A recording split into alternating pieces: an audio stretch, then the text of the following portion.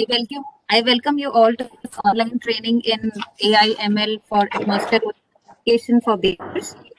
Uh, I request you all to kindly mute yourself so that it is clear to everybody.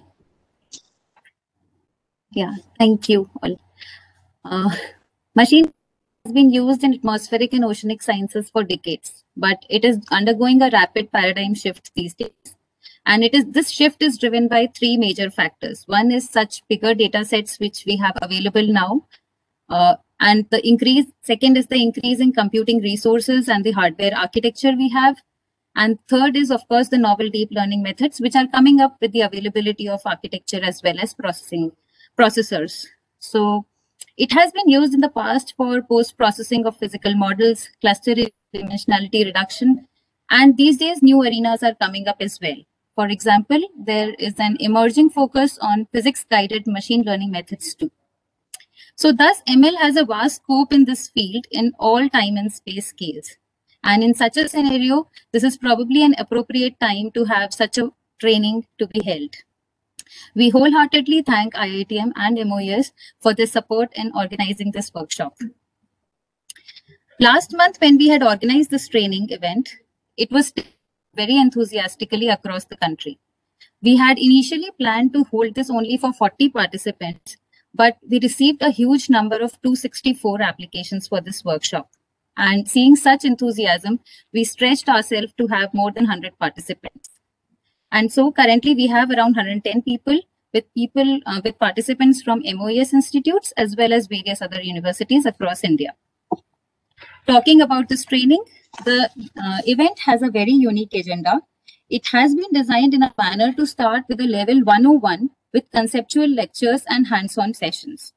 The event will start every day at 10 a.m. with lectures, followed by a hands-on session which will explain the things which have been taught in the morning session.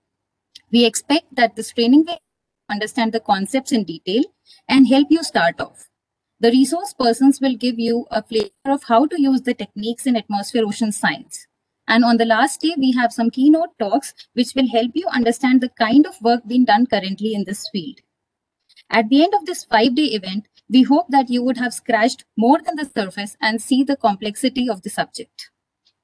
I hope this gives you a brief idea about the event. And not without any further ado, let us begin. And I request Professor Ravi Nanjundiah, Director IITM, to kindly deliver the inaugural lecture.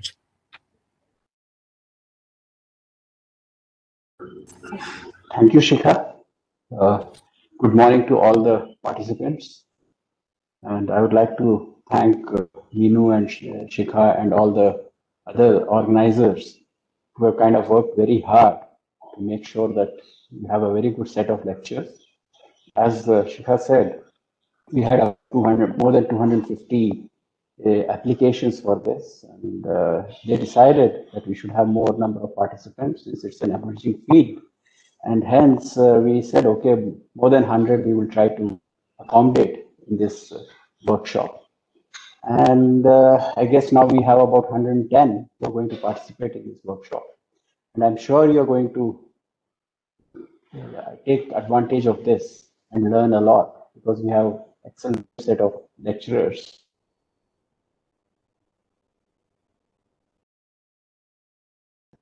And starting from let's say almost beginning, you'll be at a stage where you can kind of start looking at problems that might interest you. And uh, I hope you enjoy the lectures and learn a lot from that. And I wish you the very best. Okay. Thanks, Shikha, for the help. And uh, so without further ado, I'll kind of talk about uh, how it can be used for study uh, weather and climate. Can you go to the next slide, please? So this is an over, overview. We'll basically see how we, most of the work that I have done, I'll talk about the work, some of the work that I have done, which is essentially on the Indian summer monsoon and uh, doing it for active break, uh, break spells and also kind of uh, predicting ENSO and EQUINOO, which is a event, a phenomena which occurs in the Indian Ocean, and then how it can be uh, used for uh, solar energy forecasting, and of course some brief conclusions and future research. Next slide, please.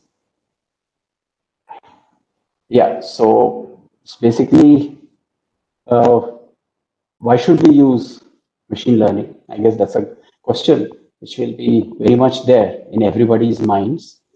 So the main reason why we are trying to use machine learning or AI is now because we have a huge amount of data.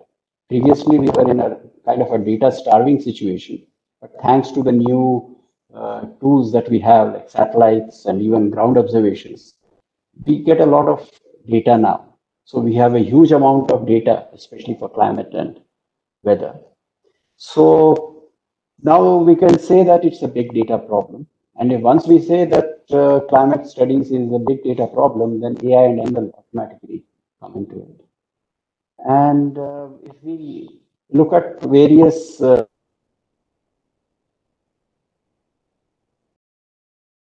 skill, either in detecting phenomena or uh, you know even uh, predicting it. So we have various ways we have done it for various techniques. I mean, one of them is for uh, Indian monsoon, the other one is for uh, predicting ENSO, etc.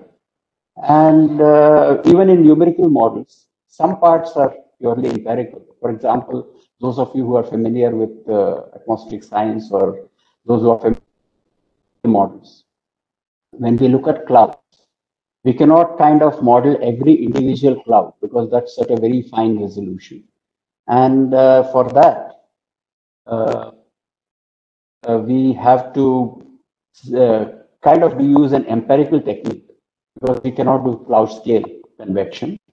So the so what we can do is instead of using those empirical techniques, which are kind of based on very small data, we can use much bigger data sets and use AI/ML algorithms for that.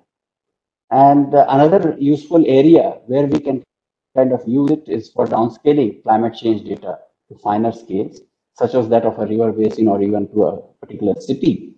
And uh, also now attempts are being made. I wouldn't say that it's already succeeded. We used uh, data assimilation and use AI/ML algorithms for data assimilation. Uh, uh, recognizing and identifying new patterns in climate data, people have used AI and ML for that. For example, work done by uh, Professor Vipin Kumar in uh, Minnesota he has kind of used uh, big data techniques and AI and ML to look at new patterns, linkages between different parts of the world for climate. And another area where uh, work is also being done at IITM also is on bias correcting forecasts using machine learning. Next uh, slide, please. And uh, we know that uh, climate and weather events are fairly complex and they have a high degree of variability and we need to understand them and we also need to predict them. And when it comes to Indian summer monsoon, which governs the economy of the country, we need uh, uh, uh, to know about how the weather is, the monsoon is going to develop. So we need to understand about wet and dry spells of the Indian summer monsoon, and if possible, with a reasonable lead, try to kind of uh, uh, predict it. And ENSO and EQUINOO are factors which on a seasonal scale uh, we uh, then influence the Indian summer monsoon, and hence it is uh, we could also use AI and ML for that. And also when we are looking at renewables like solar and wind energy, we need to know how the energy is going to change within a few hours because the service energy providers they need to kind of uh, uh, determine how much energy they can feed into the grid and kind of commit for that. So there, AI/ML techniques are increasingly being used. And so there are various uh, areas where uh, in atmospheric science or climate and weather where we can use it. So today we kind of will take a very broad overview of it. And of course, more of the techniques will be kind of discussed in detail by the various other people who are going to speak in this workshop. Next slide, please. So Indian summer monsoon, I don't think I need to introduce you to this. We know that there is uh, exhibits variability spatially. There are regions where you have very high rainfall, for example, Western Ghats and uh, mountains of Himalayas and Northeast. And then low rainfall areas in Rajasthan and also in Tamil Nadu and other areas of India. So there, and also year to year, there is fluctuation of monsoon. And within a season also we have fluctuations of monsoon. And as climate is changing, we are kind of becoming aware that there are likely to be more and more extreme events. And hence, it might be a bigger challenge to understand and predict monsoon in a changing climate. And that's where I think AI and ML will come in handy. Next slide, please. So some of the techniques now I will talk, give an overview how, how it has been used. The details of the technique, there will be uh, other lectures which will talk about it. One of the ones that we have done is the autoencoder based identification of monsoon predictors and prediction of the Indian summer monsoon. Next slide, please. So this is a kind of an overview of the autoencoder encoder identification for monsoon prediction. So the approach kind of looks for new monsoon predictors. It kind of looks at data from various parts of the globe and then kind of does a feature reduction and a feature identification using uh, autoencoder. And each grid acts as an input to the autoencoder node. And uh, from that, we get new monsoon predictors, which could be a nonlinear co combination of other input variables. These input variables could be, uh, let's say, surface pressure, temperature, sea surface temperature, winds, all of them. And we try to kind of look at which has the best relationship. And based on it, we kind of uh, looking at that data, we kind of use the autoencoder, then use a prediction model, which could be nonlinear in nature. And then from that, we get an output. Next slide, please. So these are some of the predictors that we have used. And uh, we have two variables which we found have the biggest uh, signal. One of them is the air temperature, the lowest part of the atmosphere. And the second one is SST. So once we use it and we use it from different parts of the world with a lead of about five to six months. And when we use it, then we have, we try to use it individually. Then we get errors of, the, and we use a technique called the regression tree. Then you get an error of about 4.5%. And when we use the combined uh, atmospheric uh, temperature and SST, we get about 4.8%. Next slide, please. So this is for uh, uh, another way of showing it and how it compares with the other models. And uh, the new model, the best which we get is about 4.5 to 4.4%. This is in comparison with, to the statistical models of IMD, which has about 7.5% error. And even with, uh, let's say, uh, other models, if you look at this, the temporal correlation, it has a temporal uh, CFS V2, which we are using, has about 0.55. It could be better what I'm talking of is a published result about four years back or five years back. And also from the uh, ensemble also uh, MME, we have about 4.5, uh, 0.45.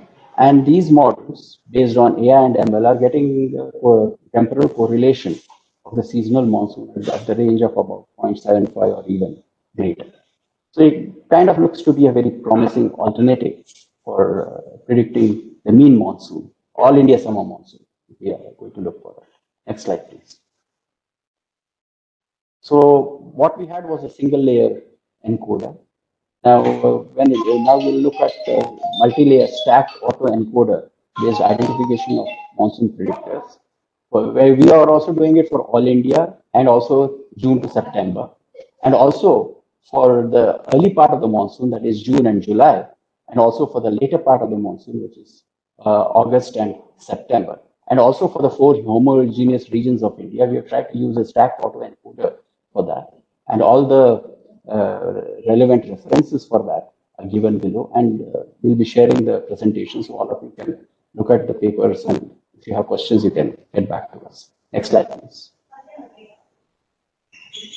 So this is kind of a schematic of the autoencoder, multi stacked autoencoder. Previously, we had only one layer of autoencoder. Now we have a multiple layers of it. And we have tried to use it, as I said, for various like All India Summer, JJAS, and also for regional monsoon. And uh, we have automated the feature, it has an automated feature of learning and identifying new monsoon predictors, very similar to what we looked at in the previous example. And features are learned at different abstraction, at different levels. You have multiple layers of them. So when you are kind of looking at uh, various levels, the, the abstraction is done to a larger and larger level. And the deeper you go to a layer, more complex are the features that are extracted by this stacked autoencoder. Uh, next slide, please. So this shows how it has, uh, we have kind of looked at various variables. And when we combine sea level pressure and SST, we predict the monsoon with an error of about 2.8% in April. And combined predictors of SLP and wind give about 3.7% in prediction of monsoon in April. And this shows kind of a time series for the testing period. We did a training and then a testing. And uh, I guess we did about 80 years of testing and about uh, 20 year, 20 odd years of, uh, sorry, uh, 20 years of testing and about 80 odd years of training. Uh, I guess, I mean, exactly, it was a fairly like 25% uh, was in the testing and 75% was in the training of the data. Next slide, please.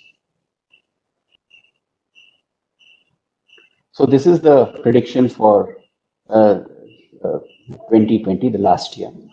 And uh, I'm quite happy to say that you we could kind of get it very close. The observed was around 108%, 108.7%, and the model predicted about 107.3%, which I guess is very close with an error of about 2.2%. And this was with various variables that we had used. And when we combined it, we got about 107%, which I guess is a very good uh, forecast. Of course, it's not necessary that every year we will be doing equally well. For example, I think in 2019, uh, we predicted about 100 or 101% when it came to 110%. So it, there are years when there could be errors, but most of the years what we have seen is that it is able to capture it fairly in a reasonable fashion. Next slide, please. Uh, so this is uh, the accuracies with respect to different uh, variables, uh, I mean different uh, models as compared to different models, how it has behaved. That's what this uh, slide is showing. And uh, we find that uh, with combined predictors for early and late monsoons, we get about, for late monsoon, we get a better prediction of 4.9%. And uh, for the earlier part of the monsoon, it was about 6.1%. So we are able to do a prediction of the late monsoon uh, much better. That is for the months of July and August as compared to the early monsoon, which was about, uh, which is for months of June and July, which is at about 6.1%. And in comparison, uh, if you look at the IMD model, it has an error of about 7.8% for the later part of the month. So that is for August and September. Next slide, please. Uh, so this is uh, with uh, showing the prediction of regional monsoons. Uh, so the, with different predictors, what I would like to say is that okay, if you compare it with uh, uh, other models, we are able to get it for much better. For uh, let's say for Central India, we're able to do it at 4.1 percent, while I think IMD has about seven to eight percent. And similarly for this is Northeast India, where we get a 5.1% accuracy. which is much better than what the IMD's regional forecast. Uh, I'm using empirical models. Comparable to that, in most of the cases, we find that these AI-based techniques are much better than the conventional regression, power regression-based techniques, which are currently used in different parts of the world. Next slide, please. So we also try to kind of identify the active break spells of monsoon. And as we all know, if you have large breaks, that tends to have a, lead to a drought. And if you have large, uh, more active spells, more vigorous active spells, we get uh, a good monsoon. So that I think uh, has been very well kind of documented. This is a picture from Rajiv et al. at 2010, where they kind of looked at the mean picture during breaks and during active spells.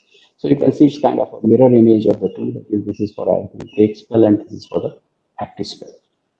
So please go to the next slide. So intraseasonal precipitation prediction is always challenging because it's highly variable and there's a high degree of uncertainty. Accurate prediction of uh, intra-seasonal rainfall is crucial because we would like to design various policies, which can be for either farming, where agriculture, let's say we say, tell them about 10 to 15 days in advance, how well the rain is likely to be in the next 15 days or next uh, three weeks. Also, you know, for reservoir operations, if you tell the reservoir managers that, okay, there's likely to be a very strong smell, uh, spell, then uh, we they can kind of be prepared and maybe release water from the reservoirs instead of kind of right now what is done is you know till the reservoirs are full they kind of try to keep the water and then kind of release it so better reservoir and more optimal reservoir operations also could be done for that. And also in various other sectors wherever this information on subseasonal variation is important they can be very useful. Also you know for disaster management uh, authority they can be geared up. Extreme spells if there is a huge uh, strong spell likely to come then uh, it, it, will be very helpful for them. And we, they may be able to take preventive measures and also be kind of ready for them.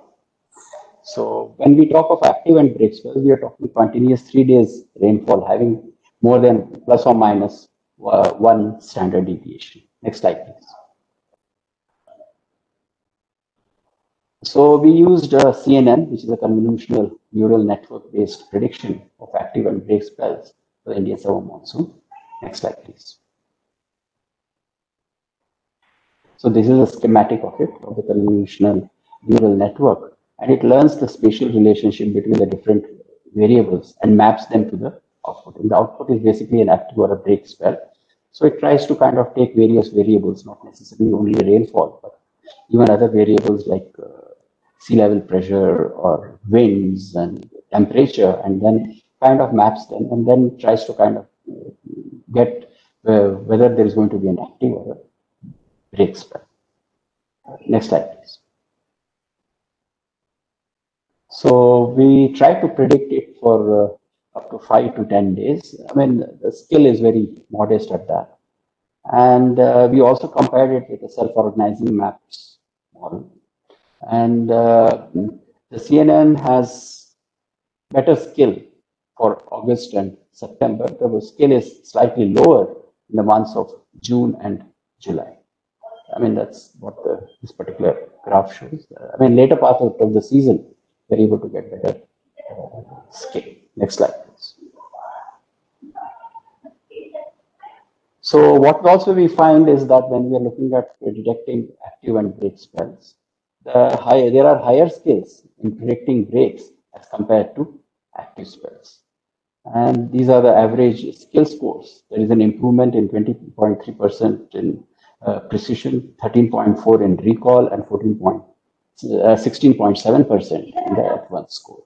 So it basically shows that we are able to reasonably do well with uh, about 5%, 5 days of lead. After that, the skill dramatically reduces. So beyond 5 days, I don't think there's much skill in our present technique I'm sure there are various other people who are looking at it and maybe they might be able to do much better at longer leads. But uh, what we find is that the skill dramatically drops as the time we go to longer leads.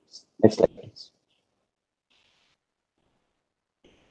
And this is about uh, actually classifying. When you take a large data set, a priori you may not know where is the active and the break spell. So for that, we use the linear discriminant analysis to kind of look at classify active and break spells. That could be very useful, especially if you're looking at very large data sets. Supposing you have 100 years of rainfall from a climate model, or let's say even 500 years of data from a, a climate change simulation, then you would like to know what is happening to the active and break spells. If the active and break spells are likely to be uh, changing, uh, are there likely to be more active spells or there are likely to be more break spells or the intensities are going to be changing? We can't sit and kind of look at every year and kind of identify or quantify them. So using an automatic technique like the linear discriminant analysis would be very useful. Then we can kind of get the statistics of active and break spells in a very long or a large data. So that's where these uh, techniques come in more handy. Next slide, please. So this is uh, the, the linear discriminant analysis based approach. And it kind of does a feature selection, which is using the greedy stepwise reduction. I'm sure there are people who will be giving you much more details of what this greedy selection uh, stepwise reduction is. And then the Redier uh, discriminant anal analysis classifier is used for classifying the days of the monsoon. That is whether it's going to be a, a rain, a rainy day or it's going to be a non-rainy day. And then they are going to be clustered together to kind of uh, identify whether it's an active spell or it's going to be a weak spell. Next slide, please. So these are the dry, what we found was that the dry days were predicted with greater accuracy as compared with the wet days. And these are the various sets which we used. And this is the accuracy uh, in, in, them and the overall accuracy that is for uh, detecting a, a, dry day, detecting a normal day and detecting a wet day. And the overall accuracy that we got for various data sets that we had used in. Next slide, please.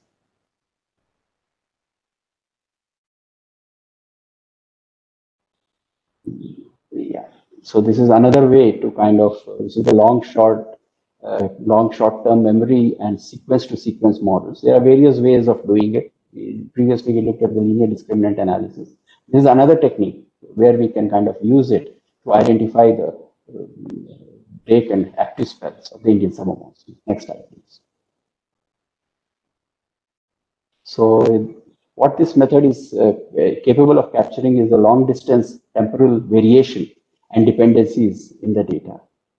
And it flattens the temporal uh, spatio-temporal input data and classifies the data into dry, wet, and normal classes. It kind of does a class analysis and sums up the classified days to detect break or active spells. So that's what it basically does. It's basically kind of uh, does a long lead, long distance. That is both it can take spatio-temporal data and from that we kind of try to see whether we are able to kind of uh, identify a dry spell or a active spell. Next slide, please.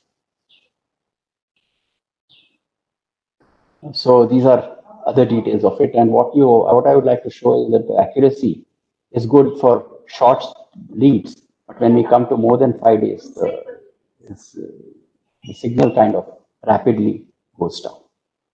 Next slide. And this is with uh, sequence to sequence matching. And there we find that we are able to predict about 16 of the 21 active spells and 14 of the 16 break spells. So you could say that the break spells are able, we are able to identify much better as compared to a uh, strong spell. Next slide, please. Another area that where we looked at was to kind of do a long lead prediction ENSO and also EQUINOO. Uh, EQUINOO is a kind of an oscillation between the eastern and the western parts of the Indian Ocean. It's uh, kind of similar to the Indian Ocean dipole. You could say in some sense it is the atmospheric equivalent of the uh, Indian Ocean dipole. And uh, previously there were no techniques to kind of predict at reasonable leads. So we have tried to we have attempted using AI and ML techniques, using basically the stacked encoder to kind of uh,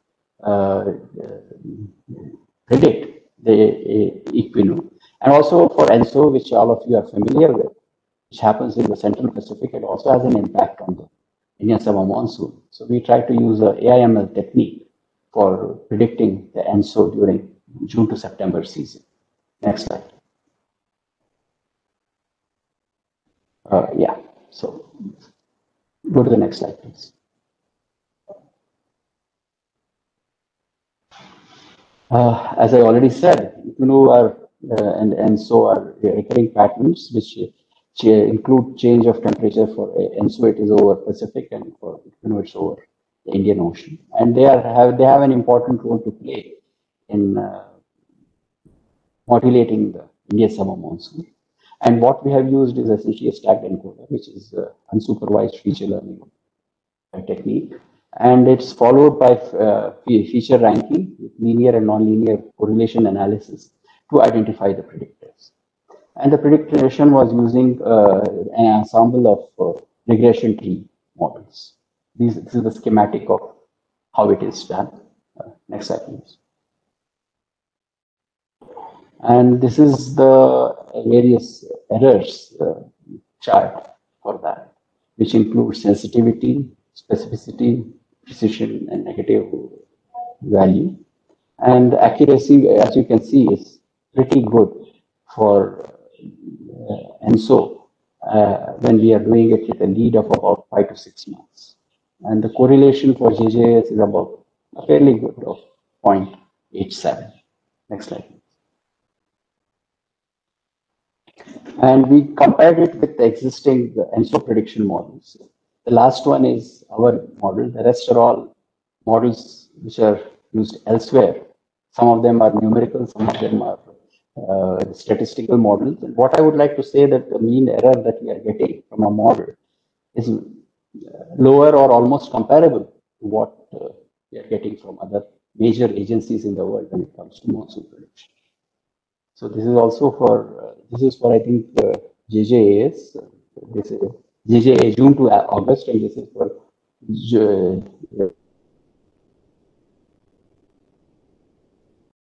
error is a little larger for us, but it's still comparable or better than most of the models which are being used for ENSO prediction. Next slide, please. And uh, when it comes to EQUINOO, there is no other model right now. And there also we find that the uh, statistics that we are getting for our model is pretty good. And we are doing it with a lead time of about six to seven months. And this is the correlation for months. And you can see that it's fairly respectable. For September, it's 0.84. It kind of is 0.91. Uh, and 0.86. So these are the other statistics which you can kind of look at. And what it shows is basically this is a very promising alternative kind of predict. And so, next slide please. Uh, we also try to use it for solar irradiance which is very important because we want to have a very short lead. When we are talking of ENSO monsoon or the Indian summer monsoon, the mean monsoon, we are looking at long lead predictions. Here you are looking at extremely short lead predictions, which is about uh, just a few hours in advance, so that we know what's going to happen in the next few hours. And then the user can take appropriate action about the amount of energy that he can feed into the grid and also kind of predict how much energy will be useful coming out from the uh, these solar solar farms. Next slide. So these are other details which I will skip and uh, uh, why we use it, etc., etc. So let's go to the next slide. So what we used was a dilated CNN-based approach to the prediction of solar irradiance. Next slide, please. And this is the de details of that. It basically involves uh, convolutional uh, neural network, which is uh, which extracts the, speech, the, the local spatial relationships, and has a dilated kernel for long-term dependencies. Then there is an attention mechanism within it, which compels the model to focus on the parts of the input that bear a high impact on the output. So it's kind of it's kind of a feature extraction which picks up the major features that would be uh, affecting the output, which in our case is the amount of irradiance that we are likely to get in the next three to six hours. And these are the details of the schematics of the model. Next slide. So these are the various data. At three hours, this is with CNN, and this is what we call a smart persistence, where we kind of take in a current data. It's not just that we kind of look at persistence, but also kind of see how things are changing from other sources and compare with it. And we find that the error from CNN is still lower as compared to what we are getting with smart persistence in various seasons and for various cities. I think this is for Boulder and the other one are going to show is for another city. And then we find that it is uh, compared to uh, smart persistence is very commonly used, but uh, CNN can also be a promising alternative with lower errors for doing something at short, even in short range, which is for the next few hours. You, can use the CNN for doing solar irradiance uh, forecasts. next slide. And uh, we wanted to know whether we are just getting the mean picture or are we able to capture the fluctuations. And this is the observed, this is the predicted, the blue curve, the red curve is the observed. And then you can see that the fluctuations are also captured pretty well. It's not that it's kind of capturing only the mean, but even the fluctuations are very well captured. So of course there are errors. And if we can use, use some bias correcting techniques for this, we may be able to do even better forecasts. It captures the fluctuation, which is also important, which will tell the user that, okay, there's likely to be a fluctuation that is likely to be a dip in the solar irradiance that we're likely to get. And hence, it would uh, be useful for them to take necessary action, which may be quantitatively there might be errors, but it will at least tell them to go in which direction they should be going, whether it's likely to be higher amount of irradiance in the next few hours or it's going to be uh, uh, more in the next few hours. So the fluctuations are also captured pretty well there. Next slide.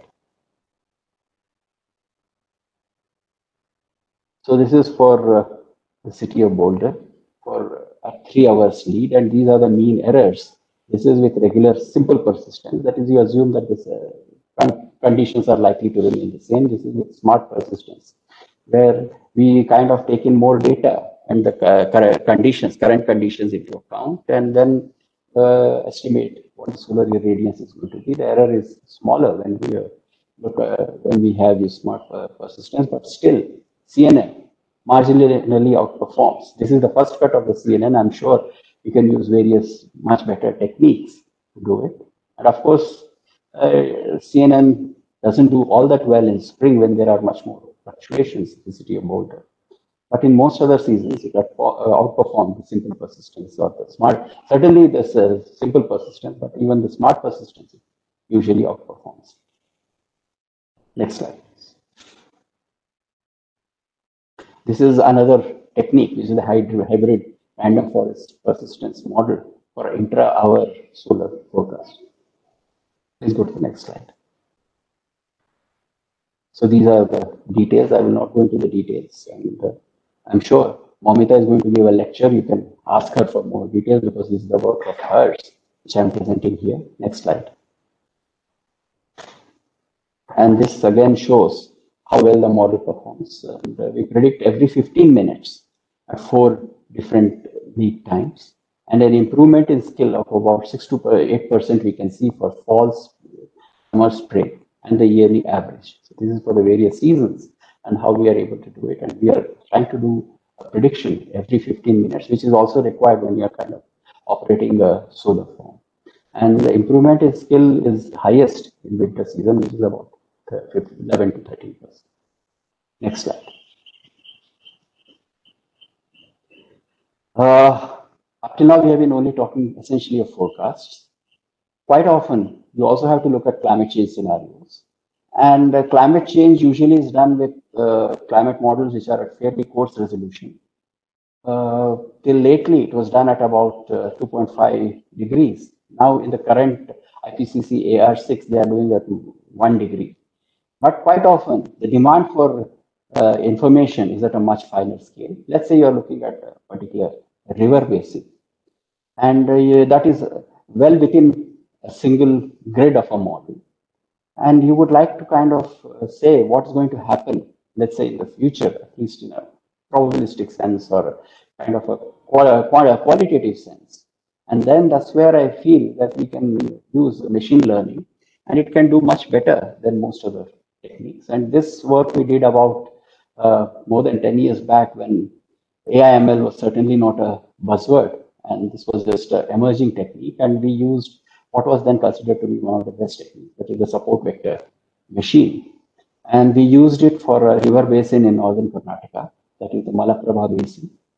And uh, we trained it, uh, built the model and trained it with the NCEP NCAR reanalysis.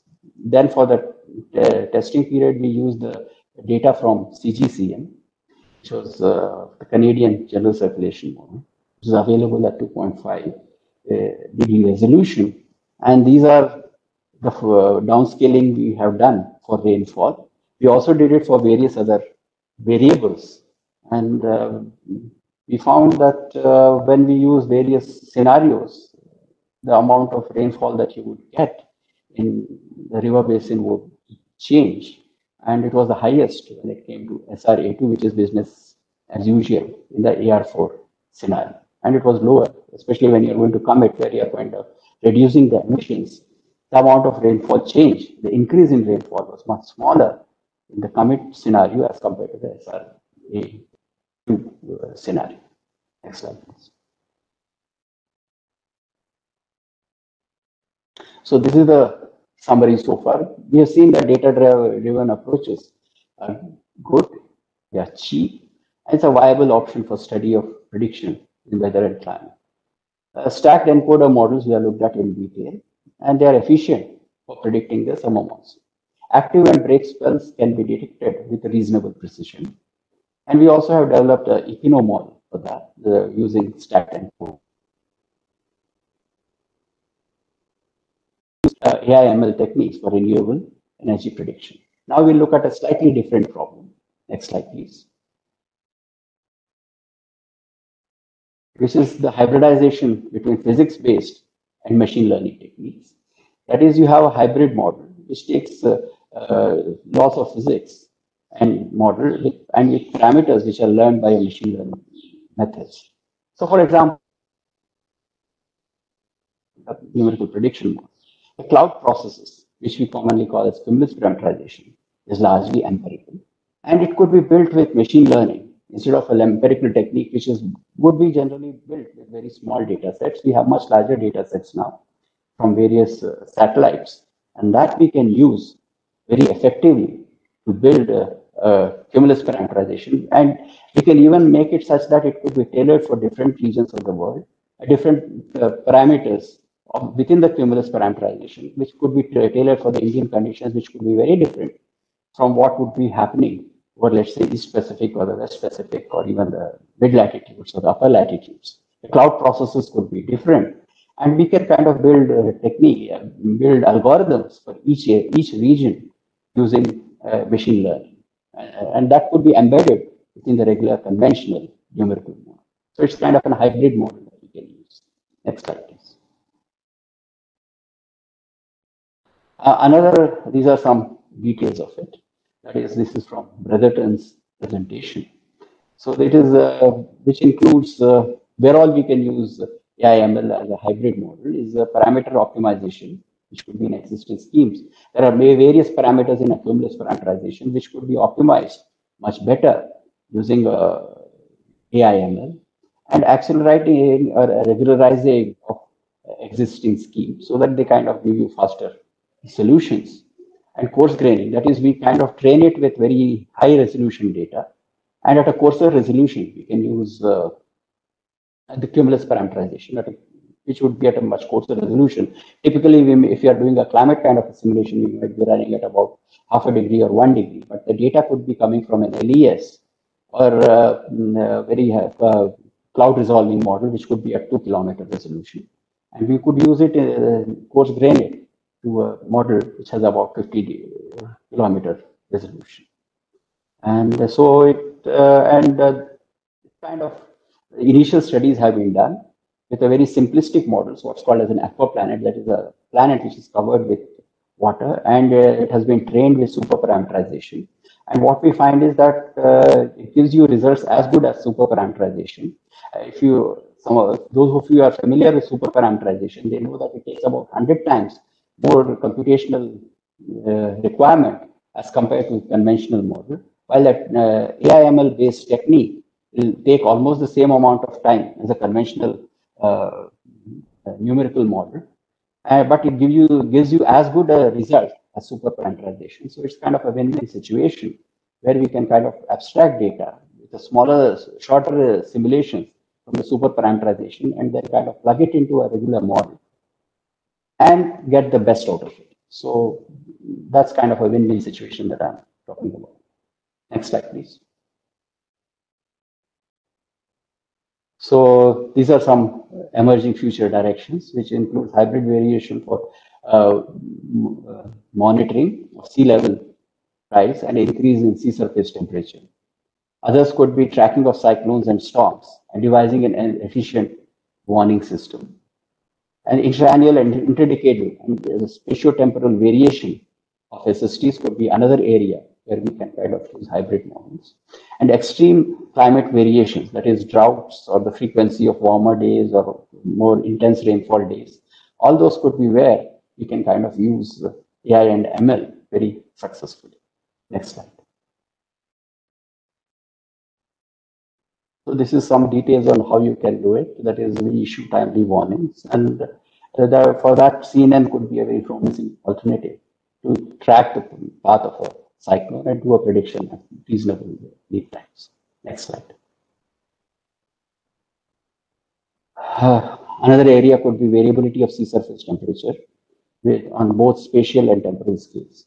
You could use a Markov-based model to determine the variability at different scales and attention-based time series modeling for temporal variations. So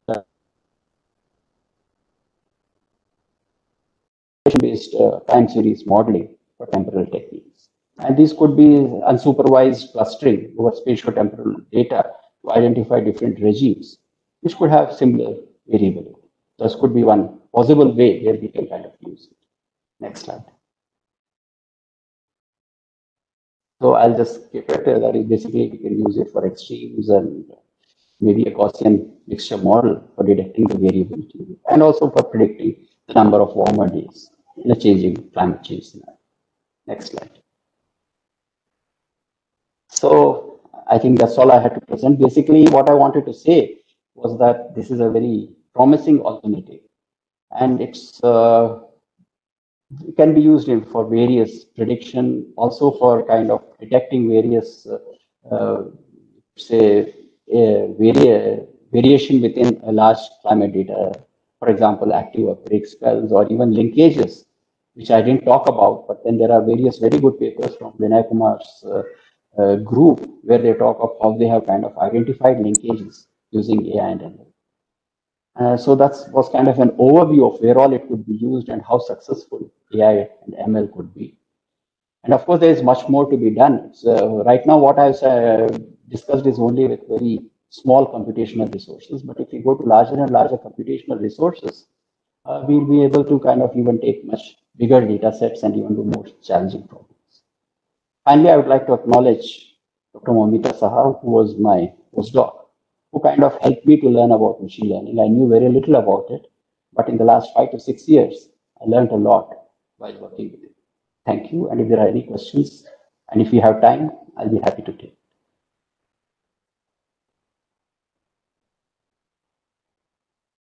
Thank you, sir, for such an informative talk. Be a very broad of the possibilities in this arena. And you've perfectly set the stage for the upcoming training.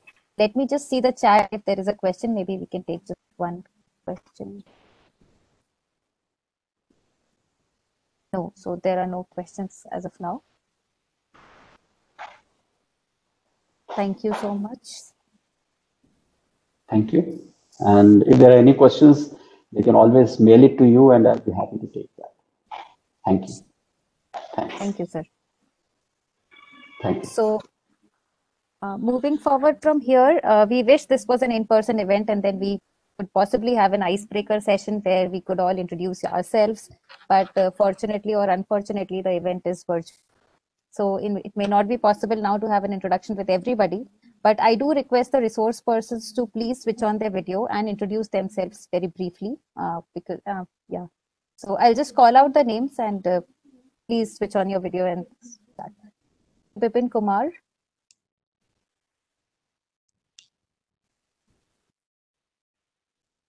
Bipin.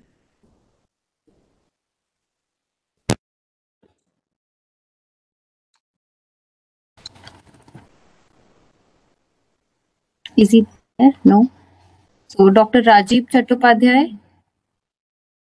Yeah, good morning to all. So, uh, it's a virtual meeting, so briefly, I would like to thank you for attending this meeting, and we hope this will be an interesting discussion in the next few days. I will be discussing few events, a uh, few of my own work and few general lectures. Uh, uh, so based on unsupervised learning networks and how that can be used for monsoon prediction. And I hope it would be useful for all of you and for future work. Thank you. Dr. Rajib. Uh, Dr. Moumita Saha. Do we have you, Moumita? Yeah. Uh, yeah, please go ahead. Hi. Hi, uh, good morning to everyone. So, like, yeah, I will be presenting uh, some of our work using autoencoder and stack autoencoder. So, I would be talking on 18th at 10. So, I hope all of you will attend that, and I will try my best to like give an like uh, conceptual view, view of like why this autoencoder is useful or why this unsupervised learning is useful, and like how we have used it in different climatic uh, phenomena. So thanks all and see you. Bye. Thank you. Uh, Manmeet Singh.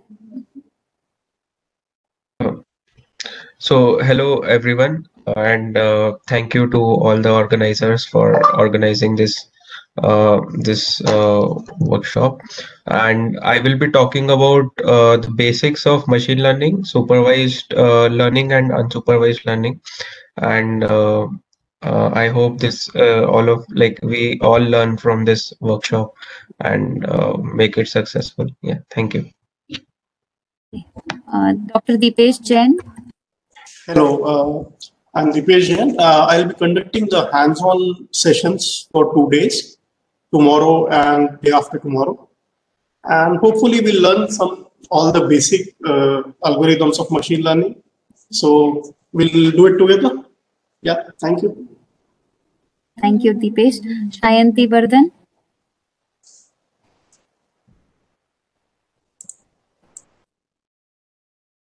Sayanti, are you there?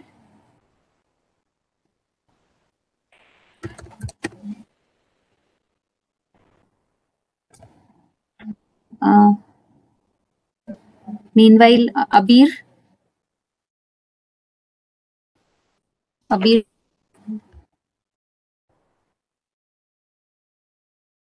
Hello, am I audible? Yes, you are. Uh, hi everyone, uh, I am Abir.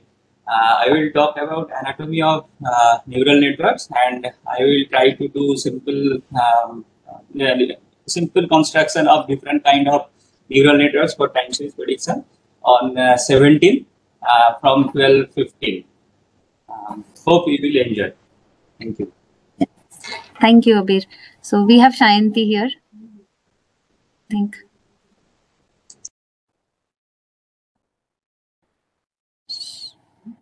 Shanti? Okay, so uh, no problem. Maybe when the lecture starts, they will be able introduce themselves again. So thank you, everybody. Thank you, all the resource persons. So here is a set of final instructions for the entire event. And after this, we'll begin with the lectures. So first is, since this is a virtual event, please make sure your mics are muted unless you have to speak. And this is a must because it creates a lot of disturbances. So please make sure your mics are mute, muted.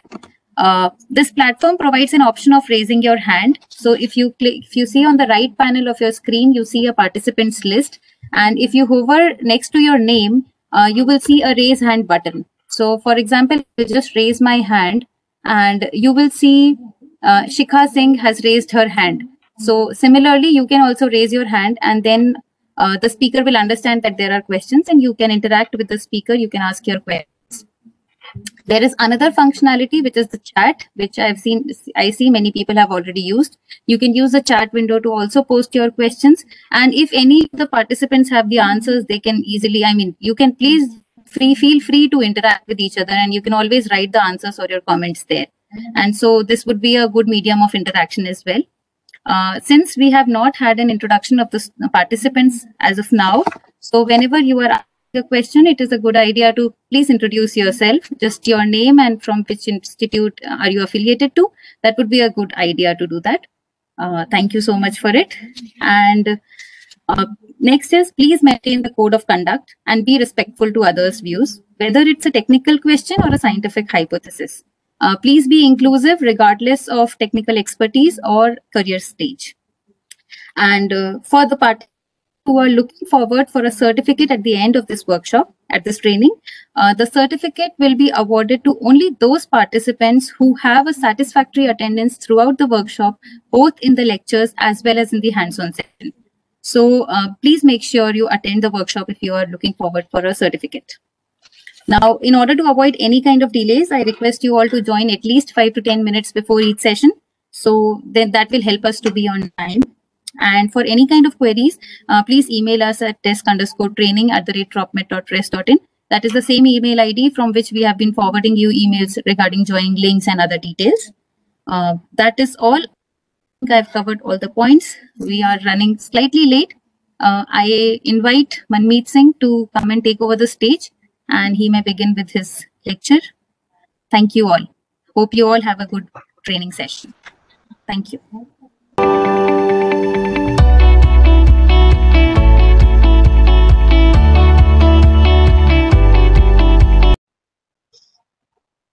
Okay, so is my screen visible? Yes, it is. Okay, You can so full screen uh, maybe. yeah, yeah. So uh, good morning, everyone, and uh, so I will be covering uh, basics of machine learning, and then uh, tomorrow or today I will try to start with the supervised learning if time permits. So quickly coming to uh, so everybody has like must must have heard about the buzzword right? So that's why we are here. Now machine learning is basically a branch of statistics which has become really popular in the last 10 years uh, primarily because of the advent of something which is called as deep learning. So Sayanti will cover uh, deep learning uh, in the next uh, lectures and uh, so i will i will be covering up to up to the basics of machine learning and then she will pick up from there. So it's a branch of statistics and now we have various uh, various different aspects of learning inside machine learning which are sub branches of machine learning. So the first is uh, it's called supervised learning. Then we have unsupervised learning. Uh, we have reinforcement learning so i will go into detail of uh, what is a super what is supervised learning and unsupervised learning. Reinforcement learning is something uh, which we are not covering here. Uh, maybe in future uh, workshops we'll we'll see. Uh, so yeah. So machine learning basically it grew out of work in ai so the uh, ai basically so the companies like IBM and uh, who are working in computer science, they were uh, they were trying to develop algorithms. So since 1950s, 60s, to uh, play computer games and to uh, basically uh, use uh, use the data and you make the computer learn from the data to perform some kind of actions so to basically develop new capability for computers but uh, the problem was that we didn't have that kind of resource. We didn't have so what what became available uh, has become available in the last uh, 10 to 12 years the gpus uh, so which has which has basically led to the explosion of of of the field. The algorithms are are pretty old. I mean it's the so we have uh, so, so it has become a buzzword and now it's become hype so but but uh, it started in like the the field basically started with like artificial neural networks in 1980s and all the algorithms and all the all the theories are have, have were already developed were already proposed. But the thing is we people didn't have that kind of that kind of resources the computer hardware was not av- available which uh, which basically led to the uh, uh, led to the field not growing to its full potential. Still today uh, like the there there have been uh, so still there there are there is work going on on improving the hardware. So i'll i'll just uh, i'll just go uh, into so uh, basically the examples of uh, machine learning are so you can do database mining and uh, so let's say so uh, another thing is apart from the hardware is the growth of uh, large data sets and uh, the storage capabilities that have come up. Now uh, there are there are cer certain applications which can't be programmed by hand. So previously uh, prior to uh, machine learning so uh, what of what we we consider today it's a very broad field. Uh, so so it it became it became very popular with the with the improvement in the image recognition algorithms and uh, particularly because of the convolution neural networks the cnns and uh, but previously uh, before before cnns what used to use be used was handcrafted features which which used to be uh, which which which were basically uh, which was certain kind of which was basically certain advanced statistics. So but but uh, but once the once the the power of uh, cnns or machine learning was i mean harnessed by the computer hardware the software the availability of training data so it it clearly surpassed the the the traditional uh, techniques in statistics. So uh, the traditional uh, definitions say that it's a study that gives computers the ability to learn without being explicitly programmed. And uh, so a computer program is set to learn from experience E with respect to some task T and some performance measure P. So P can be, so a task can be something like prediction of monsoon, just like Ravi sir was uh, mentioning. And uh, performance measure can be a metric like mean squared error. So uh, so you can have various different type of problems i i am sure all the audience is from different backgrounds so from from various uh, problems like classification uh, whether it's a let's say whether uh, a dummy example as an email is a spam or not so yeah so uh, so we have already seen machine learning algorithms can be classified into supervised learning, unsupervised learning, and then we have the reinforcement learning algorithms. Now, why? Uh, so we we are talking about doing machine learning for Earth system science. That's the focus of this of this uh, of this workshop. And uh, so there are the, so these four V's are very popular in the in in big data uh, lexicon. So the first is volume, the size of the data, uh, velocity, variety, and veracity. So uh, so basically we have a lot of data. The data is changing with time and there are diverse uh, sources of data. So for example in atmospheric sciences and oceanic sciences we have the data from buoys we have the data from satellites uh, we have land-based observations and uh, then we have the uncertainty associated with even with the observational data set. Now what we do with this data set is like uh, we try to find out some kinds of patterns and uh, which can which which can be small and digestible or uh, so we, we will try to find out what is the confidence measure uh, what is the confidence estimate of uh, of our prediction of uh, the model that we are trying to build uh, from from our data.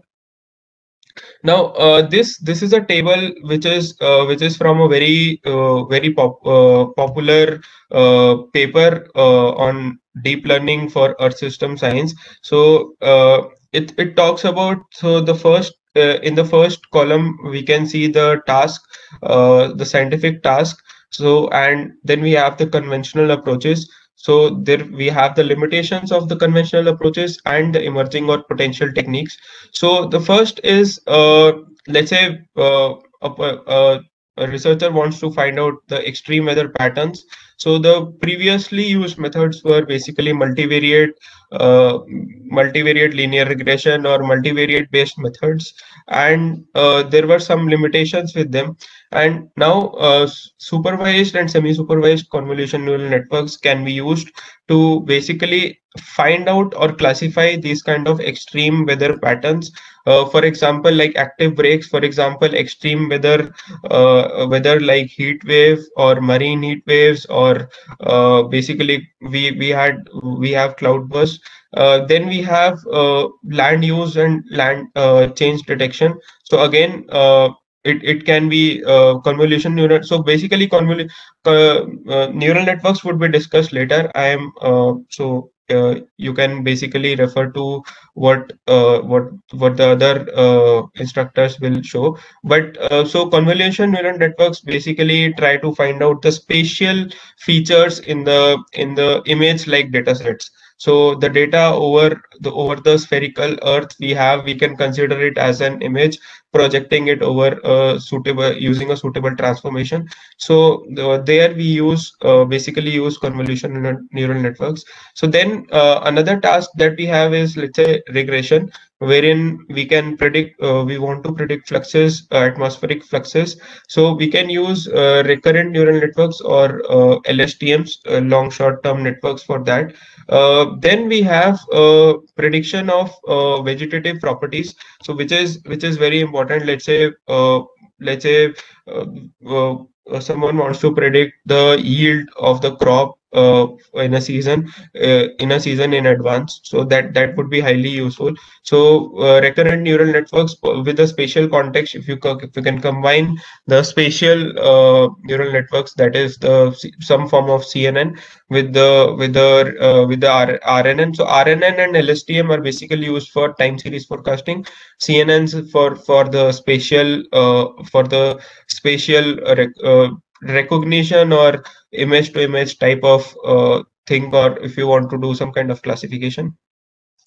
Then we have uh, so we can also use the uh, combination of convolution and recurrent uh, neural networks with the with for predicting the river runoff uh, river runoff and uh, and for precipitation nowcasting. So three to five day ahead in lead forecast if you want to do uh, which is which is very important which is very important in present day uh, scenarios and if you want to do downscaling so we can use convolution neural networks or something uh, there is there is a new type of uh, i would not say new because uh, generative adversarial networks or GANs have become really popular now. So GANs are becoming really popular. So then other uh, like seasonal forecasts also we can use uh, convolutional LSTMs and for transport modeling uh, basically we can we can use physics based or physics guided CNNs or other models.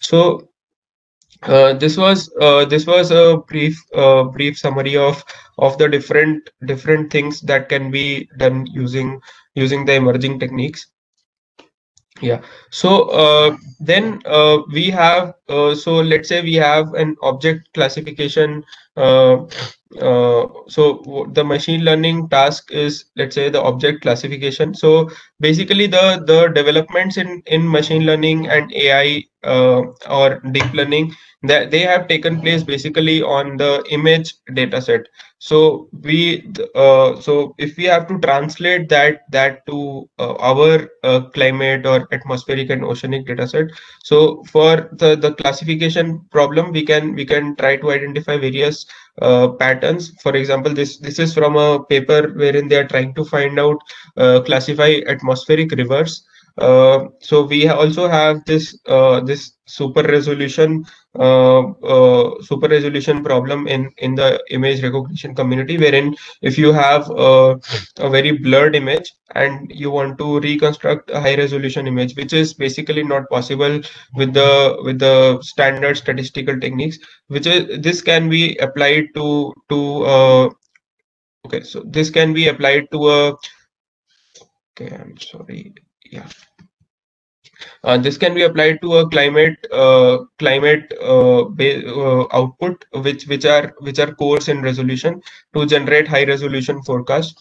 And we can also have uh, something like so uh, so this video prediction is is very is very important or is used basically in the cctv industry. So let's say you have hours and hours of cctv footage and you want to find out the anomaly or what what happened. So the one one way is that you can just sit down and see all the cctv uh, footage or you can build some kind of algorithm that wherein let's say a uh, robbery has happened or something some anomaly is there. So automatically you pass the video to the model and the model will tell you at this time so this uh, uh, it can basically classify that okay so this this kind of activity is happening. So similarly we can we we also have these this kind of we can consider the weather data or the climate data to be to be a sequence of images.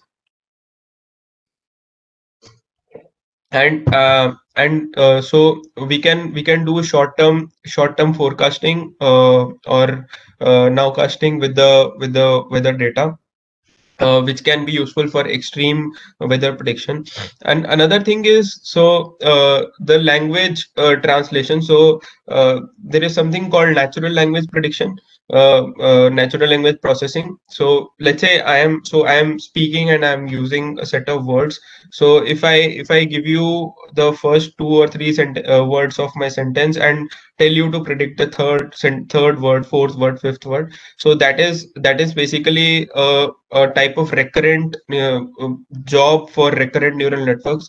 So this natural language processing has made real progress and which can be so it's at the back end of it it's it's all uh, it's all mathematics. So these the words are so there is something called word2vec. So the words are represented as vector embeddings and then they are used uh, in a time series model framework which can be so that kind of time series oh, but in our data we we directly have time series. So we can directly use this kind of uh, this kind of time series uh, uh, data our time series data uh, with the with the models that are that are being used in the nlp context.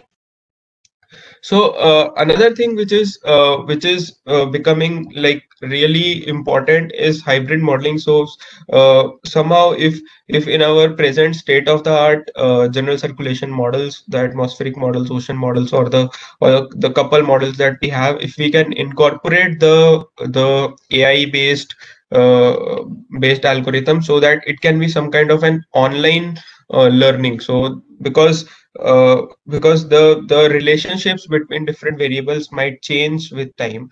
Okay so uh, so we can we can have let's say in the in the input the past temperature fields and uh, we can have a convolutional deconvolutional neural network.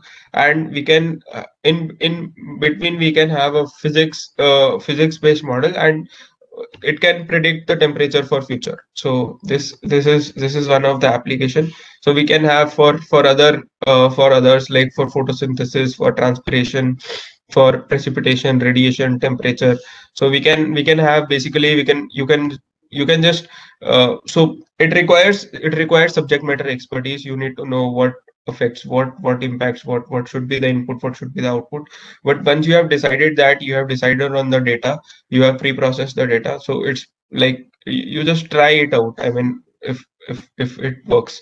So that's that's about it. And uh, so another uh, thing which machine learning is being basically uh, which it can be used uh, so there is this this very nice paper, uh, review paper by Rolnick et al. 2019, which talks about the applications of machine learning for uh, for mitigating climate change or for climate change applications.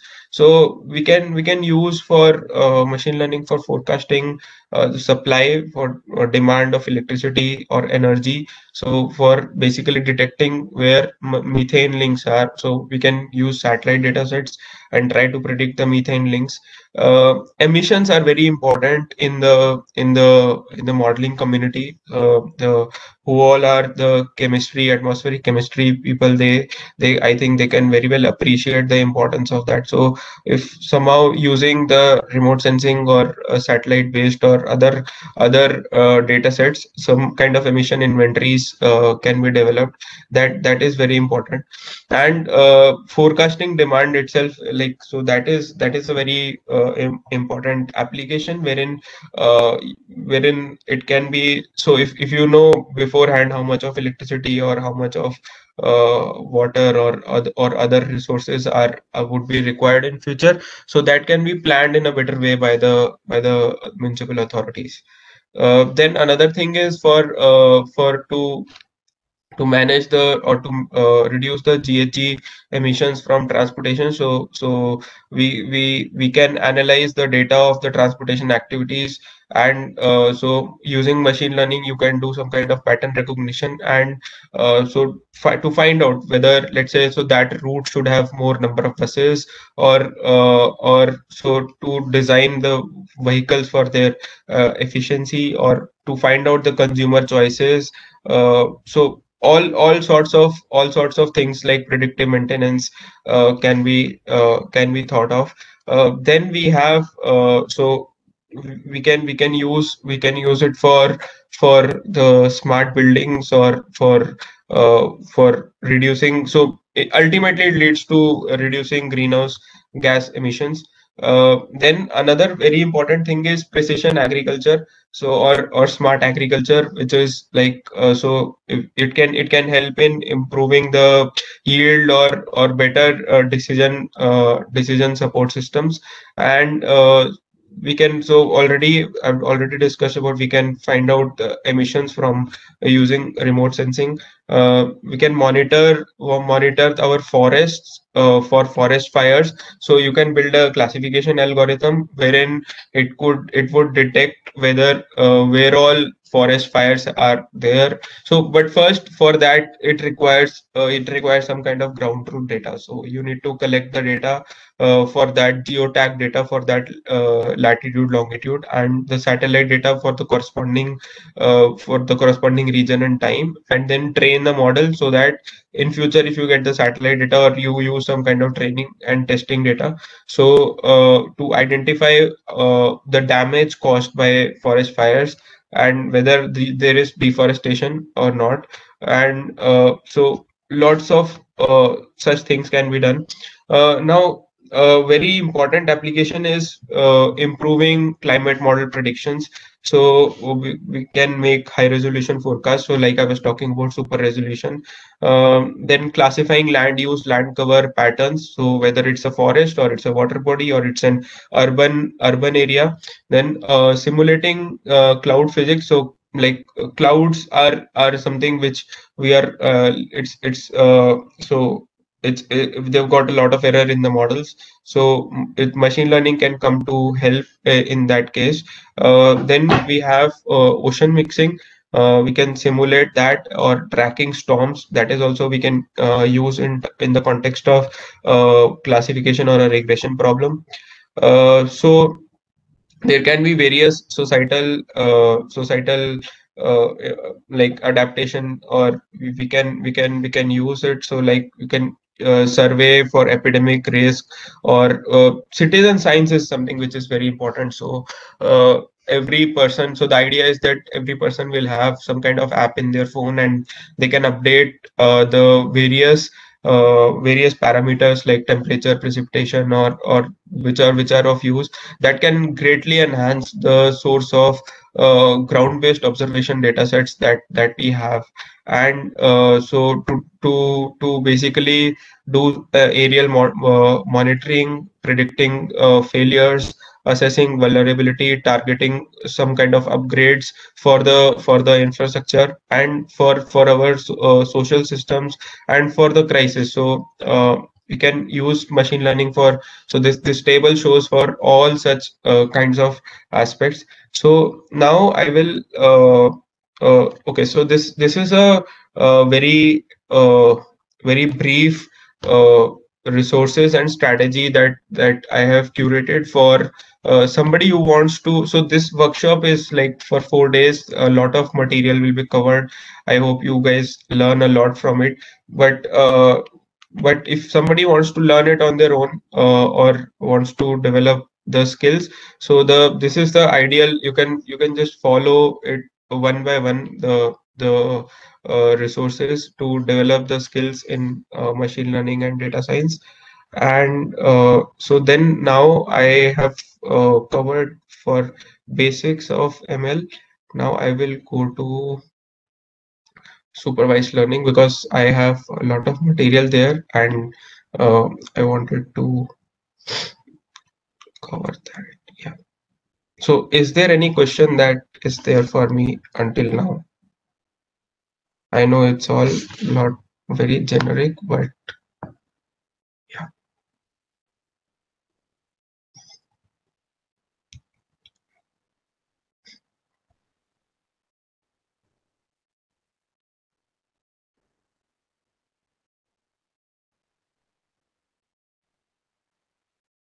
Okay, so is,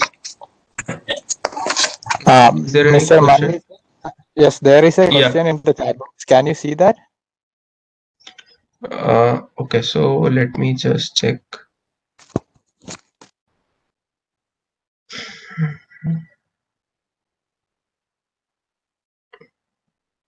Stop. Uh, okay, it says slide. Okay, yeah. Uh,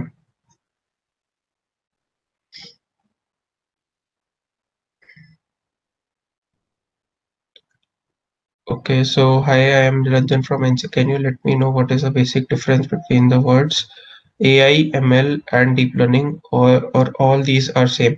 Okay, so uh, you can consider AI to be the bigger uh, bigger superset. Uh, machine learning is a part of AI, and deep learning is a is a part of machine learning. So it was like the the the bigger so set is like uh, AI its subset is machine learning and the subset of machine learning is deep learning.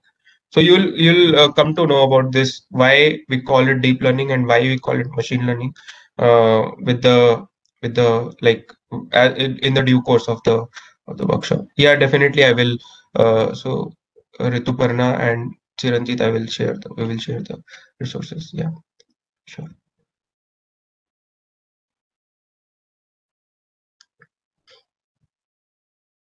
Okay, so there was one more question. I will answer that later. Uh, let me start with this presentation. So now uh, I was talking about uh, supervised learning. So uh, so this so part of this this uh, this talk and the next talk will be will be on supervised learning.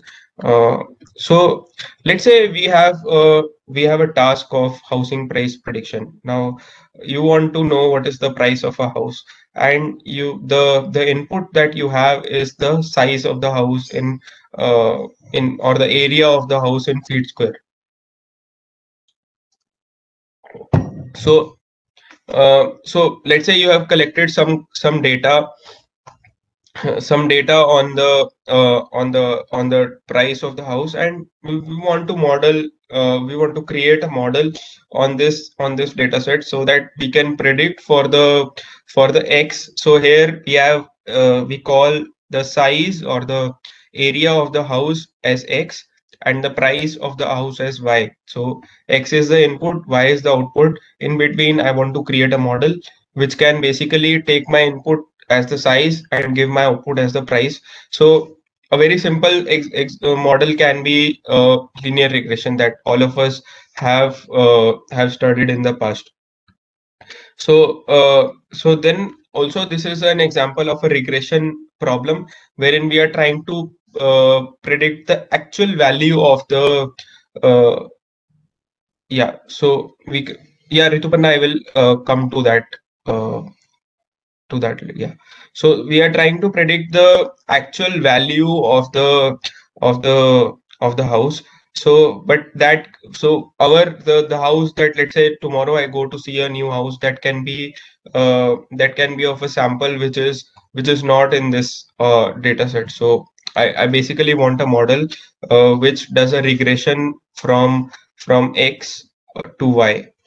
Okay so, or uh, another type of problem that we can have is uh, is a classification type problem. Let's say we have a problem of a breast cancer and whether it's a malignant or benign. So the variable in this case uh, we can have is tumor size. So what is the type of uh, size of tumor? So that basically will decide whether the cancer is malignant or benign. And uh, so it can be it can be valued from uh, so we, we can have a zero or a one. And we can also have uh, numerous other variables. So uh, what whether the, uh, what is the clump thickness what uh, the uniformity of cell size the uniformity of cell shape. Similarly we like we, we have in our uh, in our fields different fields we have we have different variables which basically have an impact on the on the other variable of interest. So then uh, we so let's say you are running a company or and you want to develop uh, certain learning algorithms uh, so a problem that you can have is that you have a large inventory of identical uh, items and you want to predict how many uh, of these you will sell in next three months and uh, another uh, one can be that you you have you would like a software to examine uh, uh, individual customer accounts and for each account decide whether it has been hacked or compromised. So uh, so what should you classify the first one i mean not classify uh, what should you consider the first one as? So uh, you want to exactly determine whether how much sale will happen in the next three months. So you want to exactly find out the number so it's a regression problem. And the second one is a is a basically a classification problem. Okay. So uh, then we have uh, two terms which are called supervised learning and unsupervised learning. So in supervised learning, we basically have the uh, input and the output data. We have something called a label data set. So we know that, okay, so this is my X and this is my Y. So in this case, uh, let's say I have two parameters, X1 and Y1, uh, X1 and X2, uh, which can be, uh, which can be, let's say for the case of for the case of cancer, which can be the tumor size and the clump thickness. And uh, and these are my examples. So let's say zero corresponds this the circle corresponds to uh, benign and the cross corresponds to malignant. So you can you so this is this is a an example of a label data set wherein we know the target uh, target value or y wherein we know everything. Okay so this is uh, an example of supervised learning. Now however we might uh, encounter certain data sets or we might have data set where wherein we don't know what to do or the data like we don't have the output variable. So that is an example of unsupervised learning. So in general so now you might be thinking of why why we why we are actually even concerned about uh, about an example wherein we don't have an output. But the thing is that uh, in in that case so unsupervised learning is basically uh, used to assist supervised learning to create uh, features. So like uh, Professor Ravi was mentioning autoencoders. So autoencoders is a unsupervised learning algorithm, which is basically used to uh, to generate features which can be used by a certain uh, supervised uh, supervised learning algorithm.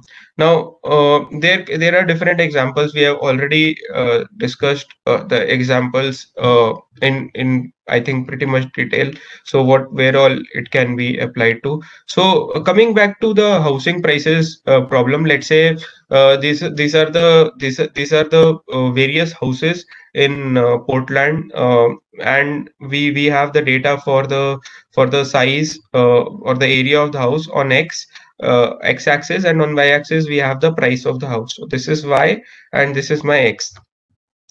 So uh, now this is a supervised learning problem because we we have the right answer for each example data and it's a it's a regression problem. So uh, so we have so we have uh, some training examples. We call them training examples. So this data that we have the different houses the different crosses so i can call them let's say we have m uh, uh, data sets. So we have m number of training examples.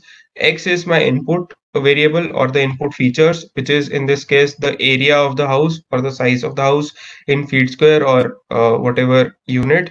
And y is the output variable. In this case we have the price of the house okay so we have a training set uh, we then we have a learning algorithm and then we have we uh, we have this this learning algorithm h so we give the size of the house as an input and we uh, we get the estimated price as an output so basically we are trying to uh, model or we are trying to estimate the price using the using the size of the house as input. This is a simple y is equal to fx problem. So then the thing is, how do we represent h? How do we uh, basically uh, uh, basically how do we so the the the task is to to find out what is h so the simple thing can be uh, linear regression with one variable which is univariate linear regression now if you are trying to do uh, linear regression so in a linear regression we know um, that okay so if y is my output I, so i can model it as y is equal to mx plus c. So, or we can say h theta of x, wherein x is the input, is equal to theta naught plus theta 1 x. So, wherein theta naught and theta 1 are my two parameters and x is my input. So, this h theta is my is my output, which is the price. So, theta uh, are the thetas are the parameters, and now the the the problem is how to choose these these thetas. Okay. So uh, we can what we can do is you can uh, you can iteratively put different values of uh, theta naught and theta 1 and try to find out try to fit a linear linear uh, curve to the to the data. Okay. So uh, so and the the the best model should be that such that h theta is close to y for for the training example. So if you have a theta line here which is which is h theta x it should be close enough to the to the examples to to y. This is my the crosses are my y. So the hypothesis is that okay so h theta of x is equal to theta naught plus theta 1 x. Now the parameters are theta naught and theta 1 and uh, so i would need uh, basically something called a cost function. So uh, we know that there are m examples. So the cost function is basically you subtract the the model prediction this which is uh, h theta x uh, minus the ground truth y square that because so the sign the effect of sign goes away. Sum it up over all the examples and divide by 2m so the goal is to minimize this this this is my loss. We, we call it a loss function or a cost function. The goal is to minimize the minimize the loss function and uh, find out uh, theta theta naught and theta 1 over uh, for for that for that minimization. So uh, so we can see that for for theta 1 equal to 1 which this is this is uh, my h theta uh, theta x. So for theta 1 equal to 0.5 for theta theta 1 equal to 0 okay so so now when we are when we are trying to fit our uh, our uh, loss function it's a it's an iterative based method uh, so we my cost function is this. So we will iteratively try different values of theta naught and theta 1 so let's say this is for a particular uh, current hypothesis. So i'm calling it as my current hypothesis. This is my this is my uh, model. This is my uh, linear regression uh, fit. So and my this, the the the red crosses are my training data sets and on the right you can see for theta naught and theta 1 uh, we have plotted the function of this the j of theta naught and theta 1 and this cross it corresponds to the loss for for this uh, model for this for this uh, fit that we have. Now you see as we as we iterate over different values so this is the this is the minima over the loss function over j theta uh, 1 theta naught theta 1 that we have so we are trying to find out basically this. So it this is the best fit wherein uh, if our uh, if our loss if our loss function or cost if we, if it reaches if it reaches this point or the minima we, we we always try to reach a global minima although practically we might get stuck in a local minima that depends upon what you're doing how you're doing. So this is uh this is this is the this is the fit. This is uh, and uh the cross you can see we have basically fitted the model. Now the algorithm that we use to to uh, to uh, find out theta naught and theta 1 and to minimize uh, j theta naught theta 1 it's called uh, gradient descent. So gradient descent we will be talking in terms of linear regression but this is the same gradient descent which is used in the uh, case of neural networks also which neural networks will be covered later. But uh, so uh, we are showing you gradient descent on linear regression because it's much simpler to understand. So let's say you have uh, we have some cost some cost function j of theta naught uh, theta 1 and we want to minimize j of theta naught theta 1 try to find out theta naught theta 1 and start with some values of theta naught theta 1 and keep changing uh, them to reduce j of theta naught theta 1 until we hope to end at a uh, minima. So let's say we started here uh, we started at this point. Okay so uh, on x-axis we can see theta naught on y-axis theta 1 on z-axis we can see j of theta naught theta 1 so in this case you can see we came to this local minima. Now we might also go to another local minima. So uh, basically you can you can also go to this this local minima but but that's that's uh, that's what i mean. So you have to find out what is the what is the global minima amongst amongst these two local minima. So this uh, looks like it's it's it's the the error or the uh, loss is lower than than this this point. So this is the optimum solution of the of the of the uh, of the cost function. So then we have uh, so for the gradient descent algorithm what we basically do is so so we have the uh, cost function. I will just show the cost function first. Okay. Yeah so we have the cost function. What we basically do is we take a derivative of this and we uh, so if we have to find out a minima so what we used to do in in calculus was you will differentiate the function uh, assign it to zero and then try to find out the values okay? So similarly you will differentiate this and uh, uh, so differentiate the so you expand j th, h th, you expand h uh, theta x and assign so put this theta naught uh, plus theta 1 x to to here. So it will become theta naught plus theta 1 x minus yi square uh, and sum it over from i to uh, i equal to 1 to m. Differentiate this with respect to theta naught. Partial differentiable uh, differentiation with respect to theta naught and theta 1 and what we get is basically uh, okay so what, what we basically get is is these terms.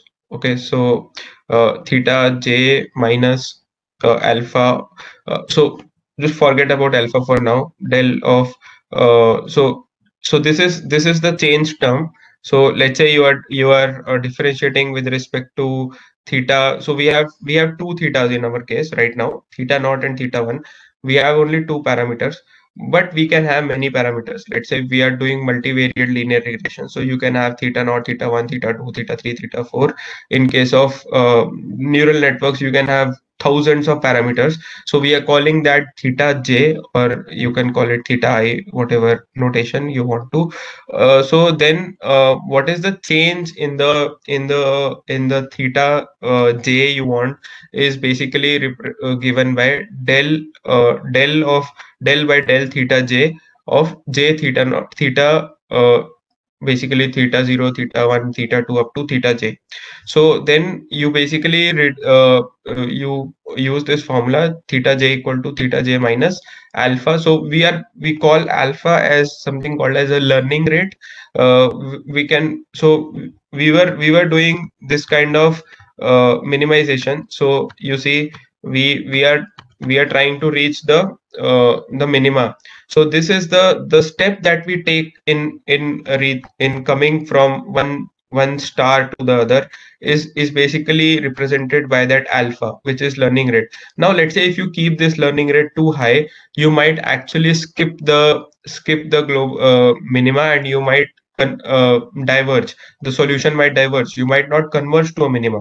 So that is why this alpha should be kept uh, kept so small. I mean it should be kept small such that uh, you do not uh, you do not your solution doesn't diverge. Although it should not be so small that your uh, you take a lot of time to basically converge to a to a solution.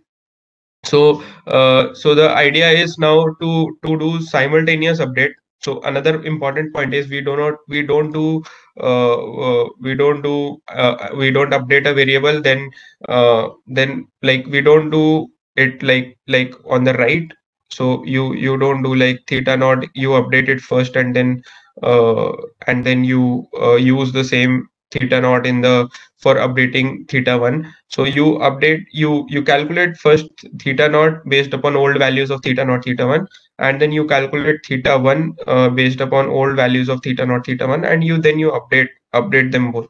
Don't uh, we don't do it this way. So that's the that's the gradient descent algorithm um, now if alpha is too small uh, gradient descent can be too slow. It's if it is too large it can overshoot the minimum.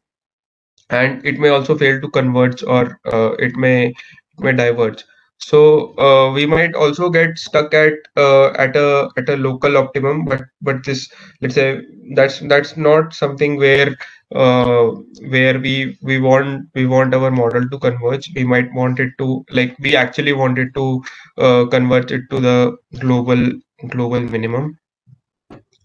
Uh, and as we approach a local uh, minimum gradient descent will automatically take smaller steps. So basically that that gradient near the near the minimum it it also reduces. So you so uh, so basically as you reach so that, that at that place so we don't need to decrease it over time uh, decrease alpha over time.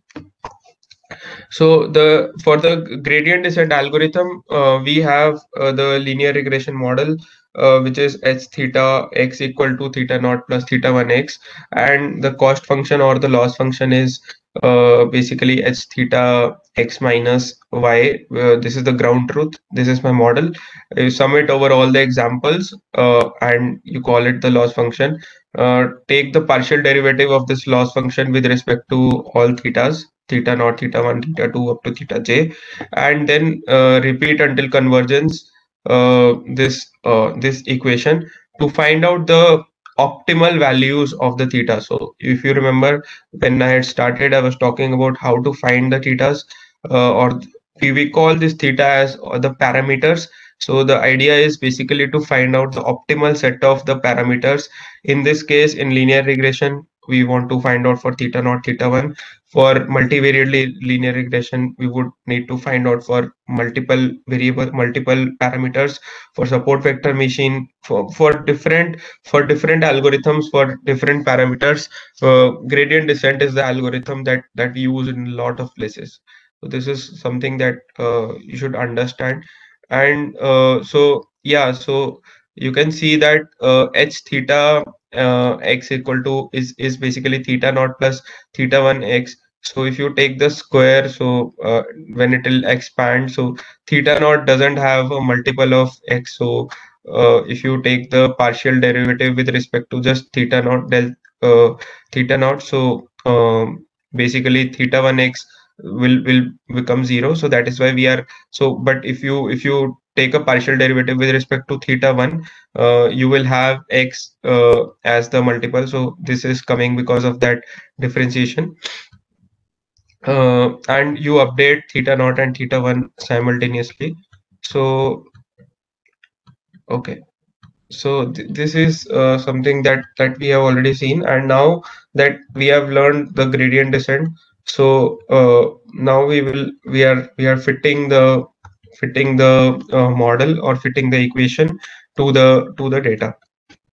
Now there are different uh, types of gradient descent that we have so the first is uh, what we call is the batch gradient descent is something what the equation that uh, that I have already discussed. So in batch gradient descent, each step of gradient descent uses all the training examples.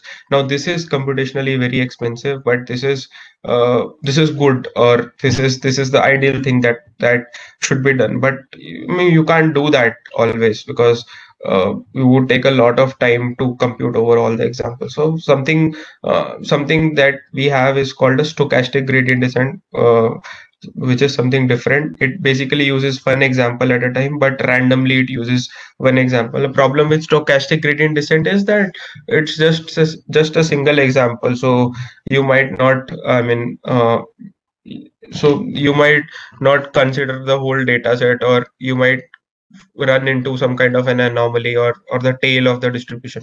Now uh, mid midway solution that we have is which which is mostly used is called a mini batch gradient descent wherein we use a batch uh, from all from the samples of the data. Let's say you have 100 samples. So we take batches of 20 so we have five batches now these five batches we will use uh, like in the first iteration we will use the first batch. In the second iteration so you can randomly use the fourth batch fifth batch. That that's like so this is called as uh, mini batch gradient descent. And you have to give a batch size in this case. So what is the batch size that you are giving? Based upon the batch size your uh, so in batch gradient descent another problem is the memory requirement is also very huge because you are using all the you basically loading all the data at a time. You're doing all the calculations. And now if you if you consider we have if you are trying for maybe let's say maybe global data or high resolution data sets or maybe um, which are which are which have spatio-temporal variability 3d data set and in time. So that that becomes huge. So then basically using mini batch gradient descent particularly for our problems becomes uh, like becomes the reasonable thing to go. Now uh, just like we discussed about uh, linear regression with univariate linear regression we have the uh, multivariate linear regression so i can basically uh, i can see the time is uh, 12 now uh, am I right, Shika?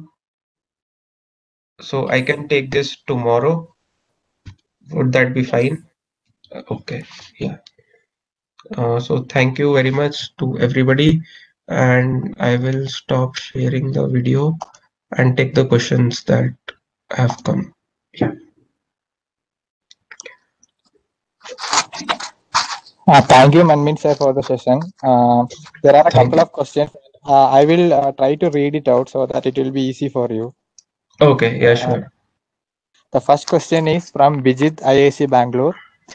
Okay. Have the question is Have ML AI used to track in real time and predict ocean mesoscale eddies? Uh, I I do not know about ocean sciences, but I I think there is somebody in ISC who is working on on this aspect.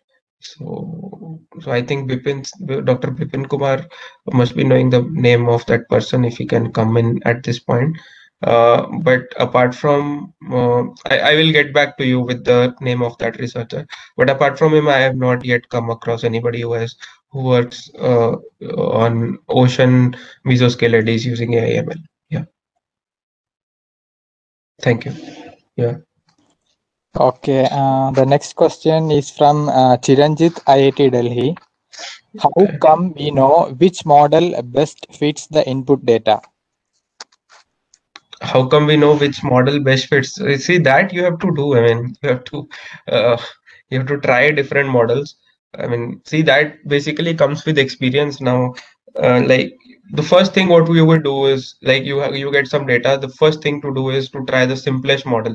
So there is there is uh, uh, there is a very famous uh, famous jargon or lexicon. It's called the Occam's razor theorem, I think. So which says that if you can if you can solve a problem with the most simplest model you should not go with the with the complex model so what you would try to do is like try linear regression try basically simple techniques on the data and then keep on adding complexity to to you keep adding features you keep adding uh, making the model more complex and try to see the kind of accuracy you are getting on the problem so that is the way you proceed with the uh, with the problem. Yeah.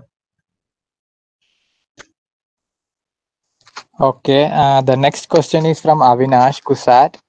Uh, I would like to know which is the best learning technique that can be used we have only small data for training. Uh, small data. See, if you have small data for training, I mean, uh, that's that's that's all you have. So what you can do is you can try to use some kind of uh, embedding you can basically so like in some problems people just have time series data. They don't have the data of like the spatial data or the or, or of many variables. So basically they try to create different embedding. So like i was talking about in nlp so in nlp people people uh, so let's say there is a word. So there will be a vector representation of that word. So uh, I will talk about this thing in in the next uh, in the next uh, talk uh, in uh, tomorrow. So there is something called a, something called collaborative filtering, which is basically used by uh, used by MDB and Spotify to to recommend for for the recommender systems to basically recommend products to the people. Now, how they do do that is basically the person for them has some kind of traits uh, so let's say the, the person might be liking a particular genre of movie uh, basic action or or different different type of movie. Um, the person might be a male or a female. So there is a vector representation of that person. There is a vector representation of the movie. So similarly so in that case also the data is like the data is not much. You just have the uh, you just have the data of the ratings you have the users you have the movies and you have the data of the ratings of the movies. So basically what they do is they create embeddings uh, for that. And similarly what people do in nonlinear time series forecasting or nonlinear dynamics is they create embeddings like uh, multivariate embeddings from the from a single time series. So that is something that you can do. Yeah thanks Okay. The next question is from Mohan Murali Krishna, NIT Rourkela. I would like to know how can we overcome the problem of missing data during training of the model? Uh, okay, so for the missing data, see there are already uh, some uh, if you if you if you just do a simple google search there are uh, methods available like you can replace it with median or you can uh, replace it with uh, with a suitable so that basically first of all requires uh, subject matter expertise whether you can do that or not. That is point one. Now you can whether to replace it with mean median or what it will do to the to the data what it will do to the, to your output. Uh, point two is there are certain uh, certain methods using machine learning wherein you have the the missing representation of the data as an input and the complete data as an output. You you create such a model wherein you have the uh, wherein the model basically reconstructs or the it, it constructs the full data itself. So basically you are you are doing a nonlinear representation or uh, nonlinear so preserving the nonlinearity of the system you are basically uh, gen reconstructing the full data out of the missing data. So that is something that that can be done. So there is a paper uh, for like uh, I, I recently saw wherein you have on on 2d images if you have some kind of missing data you create you use a cnn uh, you have you have a you have a complete image. Now you you do something like you fill some points with nan and then you create that uh, you that is your input that you pass as an input to the cnn and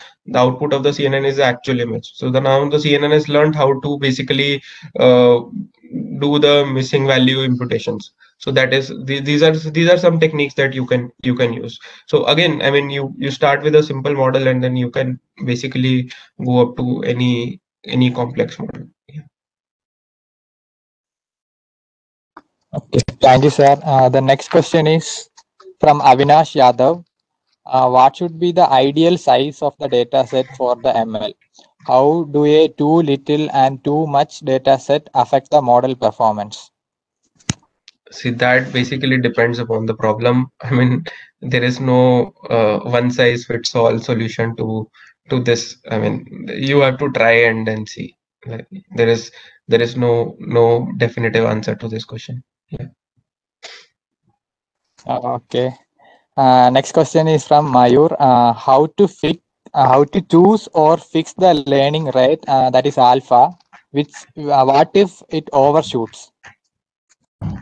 Uh, I guess what he means by overshoots is the model diverges, right? So, so if if it if it diverges, then you choose a lower learning rate. Now there is there is a certain method of of learning rates it's um, forgetting the name. It's it's basically what they do is they keep the learning rate. Uh, they keep reducing the learning rate up to a certain point and then suddenly spike it up. So what why they do that is because so let's say you are stuck in the local minima. Uh, but if you increase the learning rate suddenly, you might get out of that local minima and maybe go towards the global minima so that is these are these are some techniques. But uh, for learning rate basically what is traditionally done is like you try from maybe point triple zero one to point one and you try different values like you try triple zero one then point uh, 10 to the minus 2 minus 10 to the minus 1 uh, and then you have to see i mean what is giving you the lower uh, error metric for your model Okay, the next question is from uh, Dev Bar, uh, Brat Sharma. Yeah. Sir, what are the criteria of selecting the batch size? Okay, so the criteria for selecting batch size is uh, see, first is in in big data like really huge data problems is a constraint is the the RAM. The I/O becomes a big problem.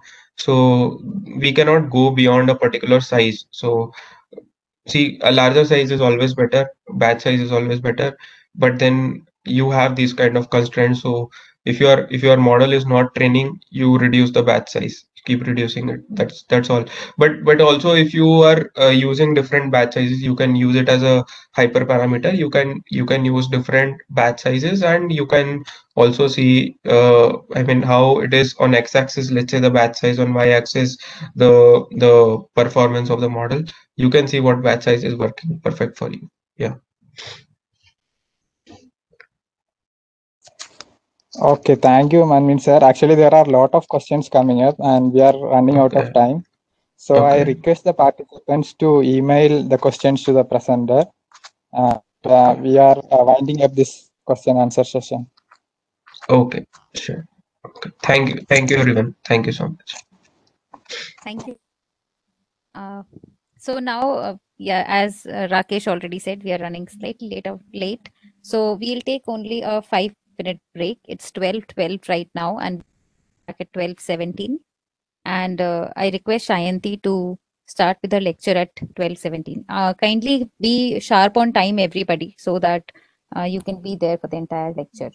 And uh, keep your questions for, uh, I mean, keep asking questions, but keep it uh, in case you you, are, you don't get an answer. There are question and answer sessions also uh, at the end of the day. Not, uh, I mean, you can ask them in hands-on, and even on the fourth day we have that session. You can ask them there. Thank you.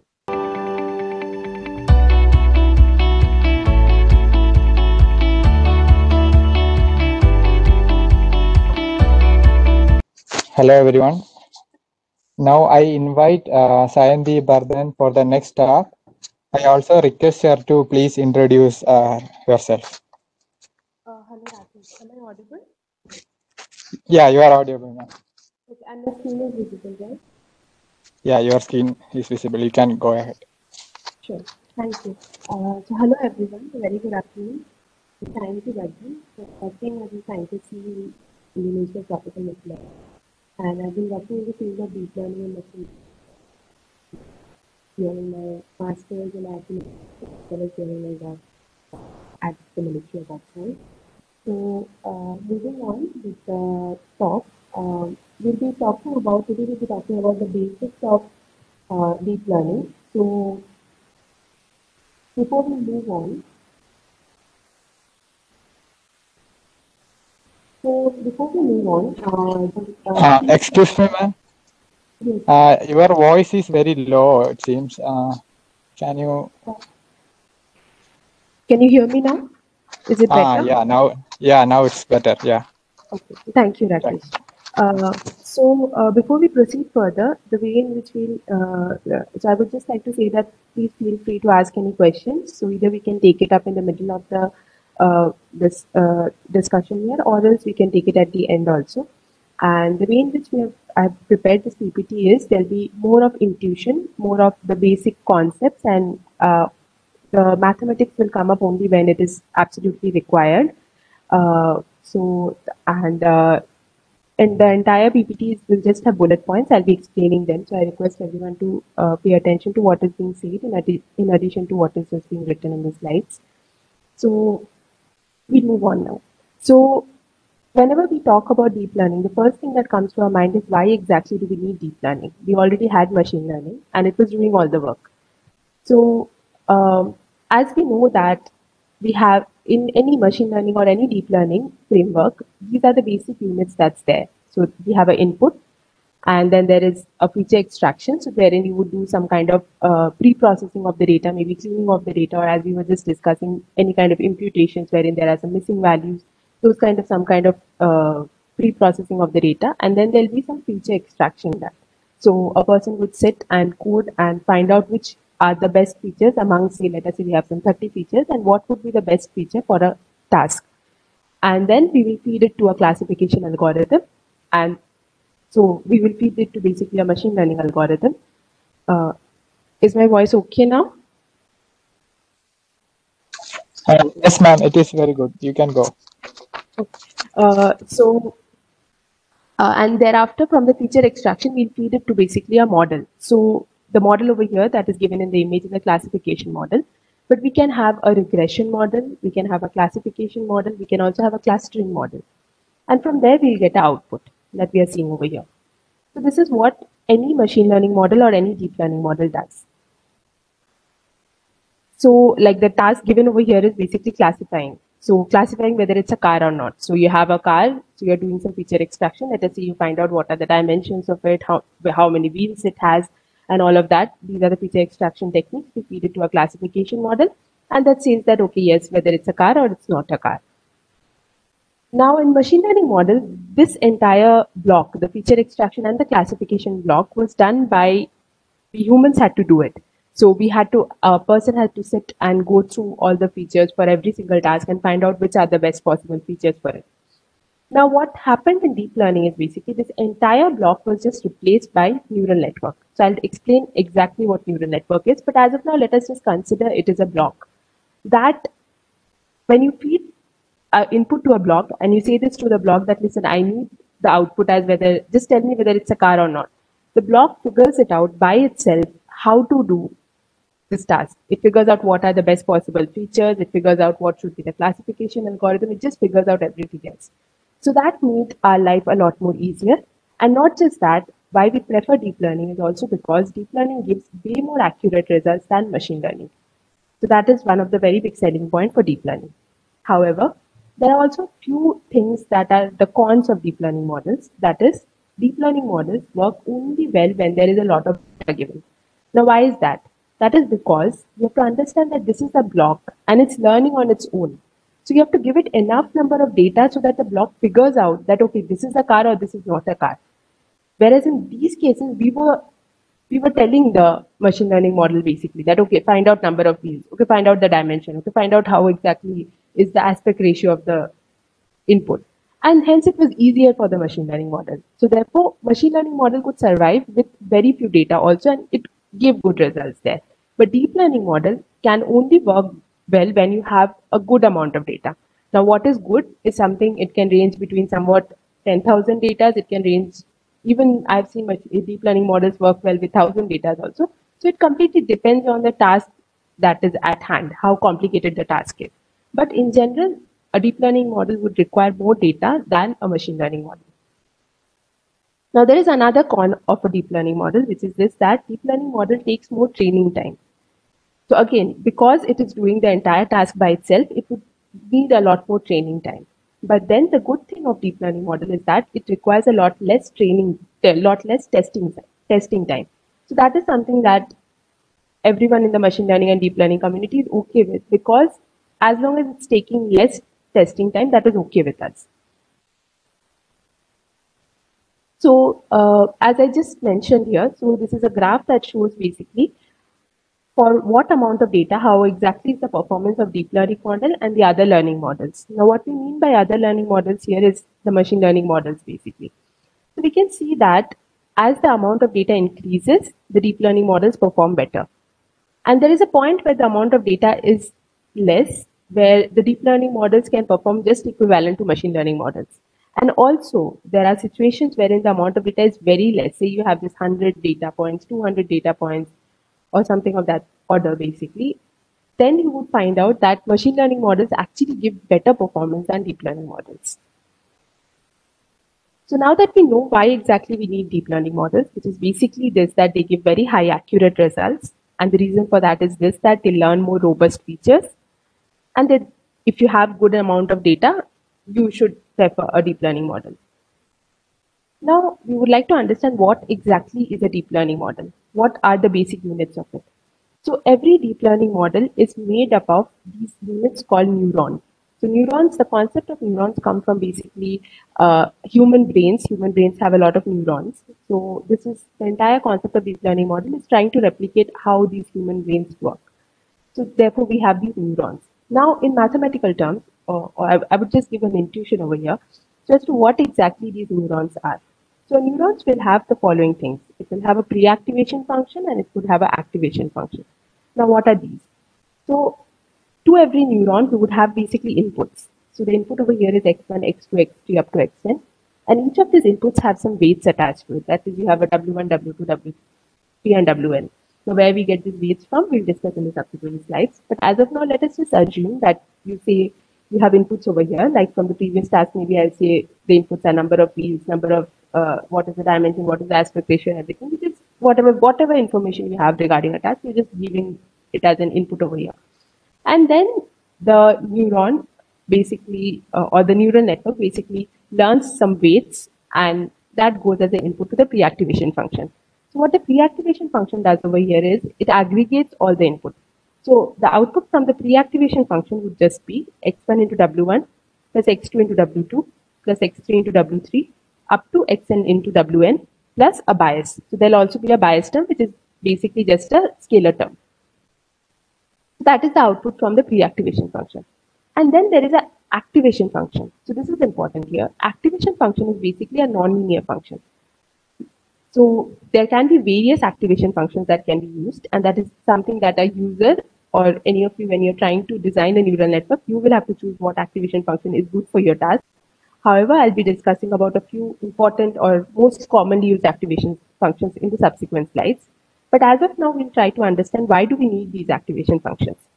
So basically, any task that we are trying to do is obviously, most obviously going to be nonlinear in nature, heavily nonlinear. So we cannot learn the task by just having linear net, by just having linear net connections over here. So This is basically a very linear connection. We just had x1, w1, x2, w2.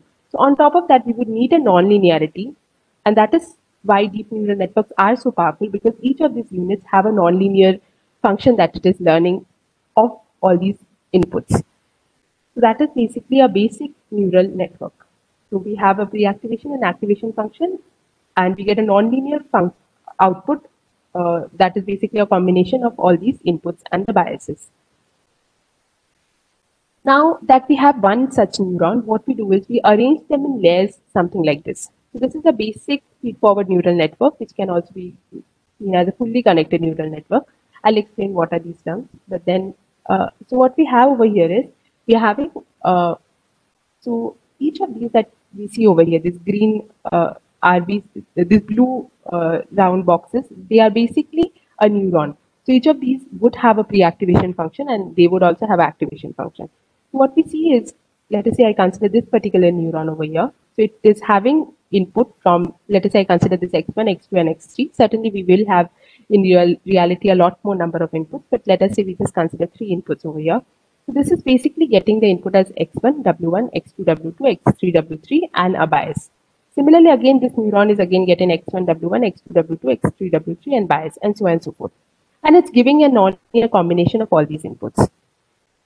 So that is how we build this entire neural network. And then at the end of it, it would just combine all of these and there would basically be an output activation function over here, which is again a nonlinear function over here. Now the thing is who gives us these weights and biases? Because I just have the inputs and I just know what output I want. I'm asking the neural network to learn everything and tell me. So basically the neural network has to learn these weights and these biases.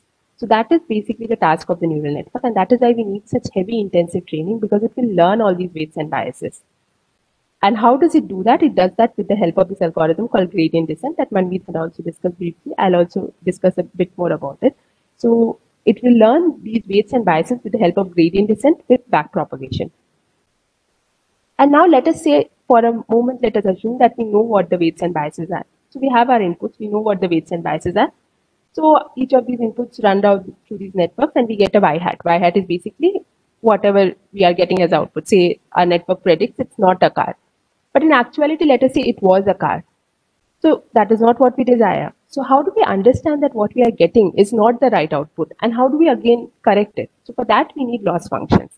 The loss function is basically anything that compares whatever we are getting with whatever it actually should be. So the predicted output with the actual output is being compared. And if it is not same, then we'll penalize it heavily and that error will flow back and the network will know that it has to correct itself. The weights and biases that it had learned was not right, and it will get new weights and biases or update its weights and biases and get again a new output. So that is basically the entire process of backpropagation, wherein the we so the forward propagation here is basically we have an input, we learn the weights and biases, it gives the y hat. Then once we get the error, it is again backpropagated and the weights and biases are corrected. And this goes on till we get the output that is the desired output. That is the entire intuition of the gradient descent algorithm. Now, moving on. So, uh, before I move to the details of uh, the gradient descent and everything, I'll just talk briefly about what are the various loss functions. So now we know why we exactly need loss functions. We need them so that a network can understand that whatever it has uh, predicted is not the right thing and it can correct itself accordingly. So that's the basic reason why we need a loss function. Now there are two tasks mainly. One is a regression, another is a classification. And the most commonly used loss functions in regression is basically squared loss, which I'm sure most of you have heard of. It is basically uh, y minus y hat. y hat is the predicted output and y is just the output that uh, is the actual output. So we just take square of it. So uh, we ignore the signs, whether it's a positive error or a negative error, and we just sum it overall and we get the mean square error basically. So that is a basic regression loss. And the next loss function that we have for classification is basically cross entropy. So now classification can be a binary classification, meaning there is just two class. There is a class 0 and a class 1. So therefore it's known as a binary classification. Or it can have a multi-class problem. So we can have a class 0, class 1, class 2, class 3. We can have four classes. Here I've just spoken about binary class and uh, binary classification. Uh, but there are extension of this that I use in multi-class classification problems. So for binary classification, we use binary cross entropy. So what we do essentially is basically we take px into log of qx plus 1 minus px into log of qx depending on our predicted output is our actual output should be 0 or 1. So if it is 0 basically then this term goes off and only this term stays and if it is 1 then this term goes off only this term stays. So these are basically the loss functions for more commonly used. These are basic loss functions for regression and classification. However, for any given task, a user, any of you can actually sit and uh, you know, you can actually make a loss function. You can design a loss function, whatever you think is suitable for your task.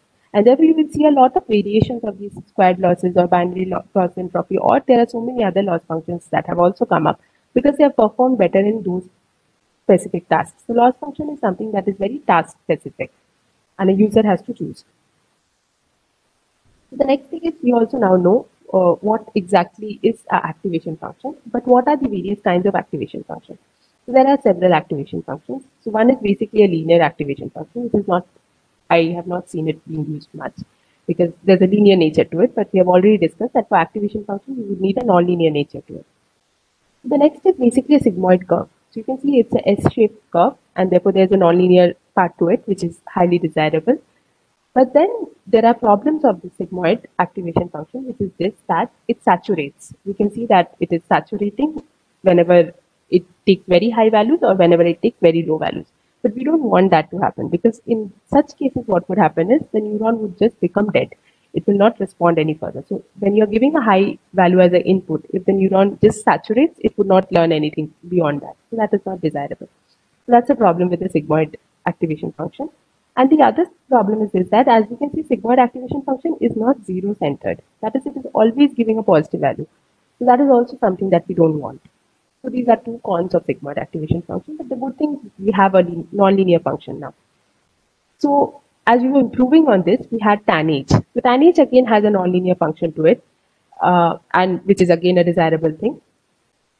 And we can see that it has solved the zero-centered problem. So that is tanh is a zero-centered function. So we can get both positive as well as negative values with the tanh, which is a good thing now. But then the saturation problem is still there with tanh. So we wanted to improve it further. And therefore, we came across something that is known as ReLU function. So ReLU is basically on the positive side, it is linear. On the negative side, it is zero. But then there are also many other variants of ReLU, like there is leaky ReLU, there is exponential ReLU, there is some kind of a nonlinear function even in the negative x side, but it is not as steep or as linear as in the positive x side. So therefore, what we get from ReLU is a nonlinear function. And it is also not saturating at any point. So therefore, ReLU is something that is very heavily preferred in a lot of the CNN networks. Tanh is also used seldom, uh, sometimes. Uh, so again, for any network that anyone is making, you would have to choose what kind of activation functions you want. But ReLU and tanh are the most commonly used activation functions.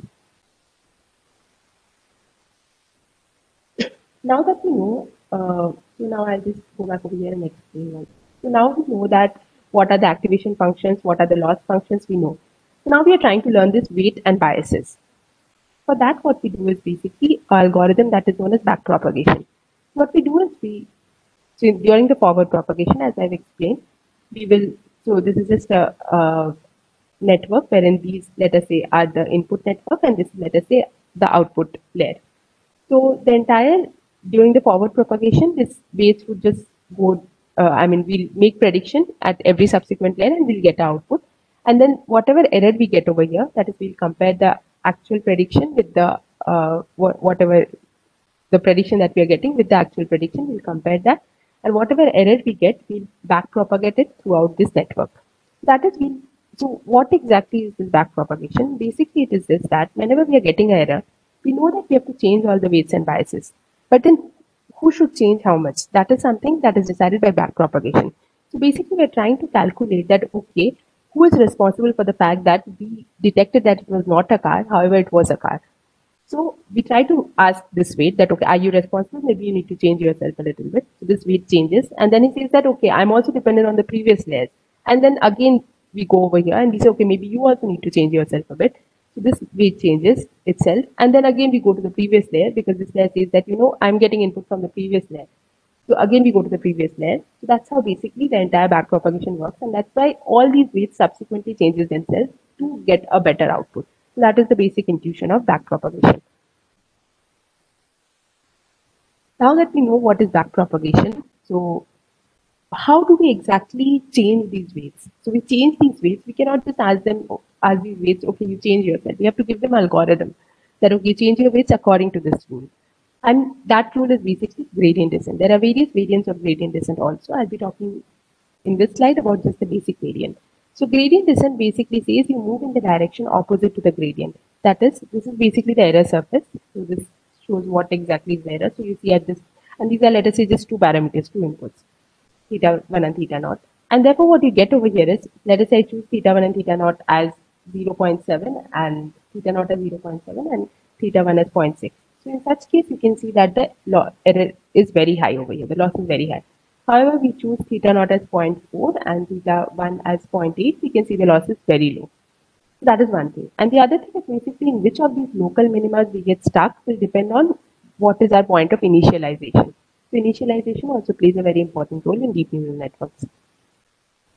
So basically what we do is, suppose we are at this point, in, point over here, and we compute the gradient over here. Uh, I mean, what we do in gradient descent is we compute the gradient over here, and then we try moving in the direction. So gradient is somewhere like this, and we try moving in the direction opposite to the gradient. Again, we compute the gradient, which is somewhere like this, and we try moving in the direction opposite to the gradient. And that's how we slowly minimize the error. So you can just say that why go zigzag, you can just come down. But then we cannot really do that because there, there has to be a principal way of reducing error. There has to be a very concrete algorithm that says, okay, if you go like this in every single case, you will land up in the a local minima or a global minima in the best possible case. So uh, this is the update rule of gradient descent. what it say, says is basically WT plus 1 is basically equals to WT minus eta, which is basically a learning rate. Again, learning rate is something that a user has to decide what would be the learning rate. So WT plus 1 is basically equals to WT minus eta times the gradient of WT. And the gradient equations are given over here. And this is the update rule for the weight and this is the update rule for the bias. So that's how every time a weight and a bias gets updated. Now, now what happens in gradient descent is, that let us say we have huge chunks of data. Sometimes we have 10,000 data points. Sometimes we have 20,000 data points. Sometimes we have 20,000 images. That's very huge because you are practically pushing the entire 20,000 data points through the network. And then once all the 20,000 data points gives the output, you're taking one decision of taking this one false, one small step. Again, you're processing the entire 20,000 data points. Again, you're taking this one small step. That makes the entire process very slow. We don't want that. We want it to also converge very faster. We want our training process to converge faster. So what we do in that case is basically we say, okay, since then why take all the 20,000 data points? Maybe we can just take 256 data points from the entire 20,000 data points. And that is also a representation of the entire data set. So our first step we'll take based on just those 256 data sets, uh, whatever they are telling, whichever direction we should be going. And then again, we'll process the next 256 data sets and then take the next step. So what happens is this that it actually converges a lot more faster and it has been mathematically proven that it does converge because it may seem like okay i take 256 data set and again i take some other 256 data sets. It may or may not converge because i'm not seeing the entire data set. How do i take these steps? But it has been actually proven that they do converge. So that is basically the mini batch gradient descent and uh, then there is also stochastic gradient descent. And as the name suggests, stochastic, that is very random. So what we do here is basically we just take one data point and we ask it, what do you suggest, where we should go? And the data point suggests that, okay, go this way. And then the next data point suggests we go this way. So it's basically, we take decisions at every point in time based on just one single data point. So that's the reason it's very random. And stochastic gradient descent is not used much, but in certain cases it is also used. There's a lot of usage of mini batch gradient descent. And next, there is a lot of usage of usage of uh, momentum-based gradient descent. What we do in momentum-based gradient descent is, is that we now we say that okay, let us say I'm moving these directions, but then instead of just taking a step based on only the gradient, I will also take a step based on a fraction of whatever was my update at the t minus one at instant. Whatever I have moved at the t minus one at instant, I'll also move at the tth instant, I'll also move a fraction of that mm, and not just the gradient. So you can see that the update at t, whatever goes, is basically some fraction of t minus 1 plus the learning rate times the gradient of wt. Now, there are also certain disadvantages of this momentum-based gradient descent, which is just that if the these error surface, let us say they have very narrow valleys. In that case, there is a tendency because momentum-based gradient descent is basically making the gradient descent route a lot more faster. So there's a tendency that it may just overshoot. Let us say this is a value which is very narrow. So it may just be over here and then when you give it a certain acceleration, it may just overshoot over here. And it may just keep doing to and fro without reaching the minima surface, which will be a disadvantage for us.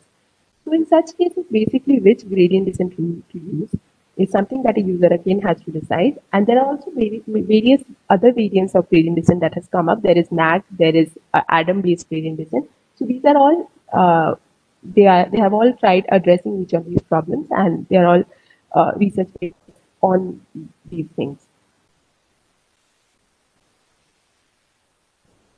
So the next thing that uh, we see is basically uh, a lot of regularization techniques. So now one thing that is always there is this that uh, for any deep learning network, there is always a tendency, since if we keep on training a deep learning network, there will always be a tendency that it will overfit. Now, what do we mean by this term overfitting and underfitting? Is, is that whenever a network, say you have given the network, like in the previous case where we had cars and the network had to detect whether it's a car or not.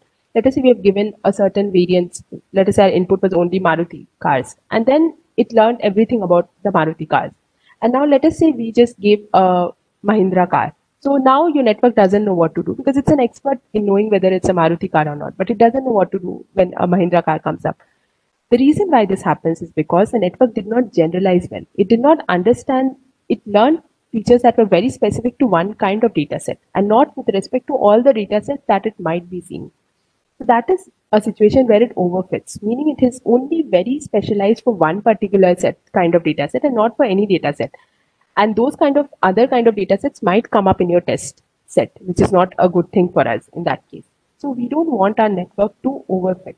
We rather want our network to generalize. And when I say generalize, I mean a network should be such that it can understand any car, no matter what the make is, it can just understand what it is. So that is basically uh, trying to reduce the overfitting of a network and trying to make a network more general. So that's when we call a network more robust. So that is why we basically need regularization. So there are a few techniques for regularization. Now the first technique is basically dropout. So dropout technique is something wherein what we do is basically each of these neurons as we train basically, so we, maybe we'll have some, let us say as an example I'm telling, we have some 50 neurons in a network. And each of the neurons are present during the training by a probability which is P. And therefore what happens is not all neurons are present when we are doing one particular iteration or one particular epoch. And what it does is basically each of the neurons do not learn how to be codependent on each other. They become much more independent. And that actually contributes to making this entire neural network a lot more, a uh, lot less prone to overfitting because now each of these neurons know how to work on their own. So that is what we want. So that is a dropout technique. It is very common.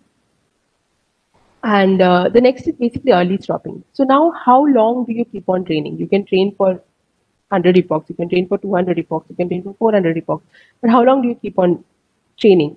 So what we do for that is basically we train a very usual uh, thing that is usually adopted, a very usual design technique that is adopted is this that our entire set is divided into a test set, a training set, and a validation set. So we may dividing, let us say we take 70% of the data that we take as training set, and we can take some 20% of the data or 10% of the data that we take it as validation set, and maybe the 20% of the data we keep it as test set. So whenever we are training a data on the training set, we want to see also in between. So we don't train completely. We train for let us say five epochs and then we come out and we want to see how has it performed in the validation set. And then again we go back, again train for another five epochs. Again we check how is the validation set training doing, the validation set results doing. The reason for that is, so whenever we keep on training, the training error will always keep on reducing. That is a given because the network is learning more and more. But then there'll be a point where it will stop generalizing and it will start over specializing. So that is the point where we want to stop. And also that is a point where the validation error will increase. So training test uh, training error will keep on reducing even beyond that, but the validation error will increase beyond that one particular point. And that is the point where we want to stop our training. So that is basically known as early stopping because that is also the point where our network has generalized well and we don't want the network to now over specialize over something. So that is the early stopping thing. Now the next thing is data augmentation. So as we know, as I discussed in the first slide, the deep neural networks always work better when we have a lot of data. But we may not have those many data. So what we do is basically we can do a lot of data augmentation. That is, let us say we are working with images. So what we do is, let us say we're working with images of cars. We can keep cropping the images now. I can just give the front portion of the car one one car image I may have, and I can make some four or five different images from that one image by cropping it.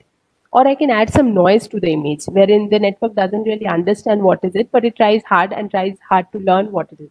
So these are the various kinds of corrupting our input. We can corrupt the output even, we can crop it, we can rotate the image. So these are the various things by which we increase the data volume so that the network learns more. So it's always a given that the more the data, the better the network learns, the better generalizes the, the better generalization the network can do.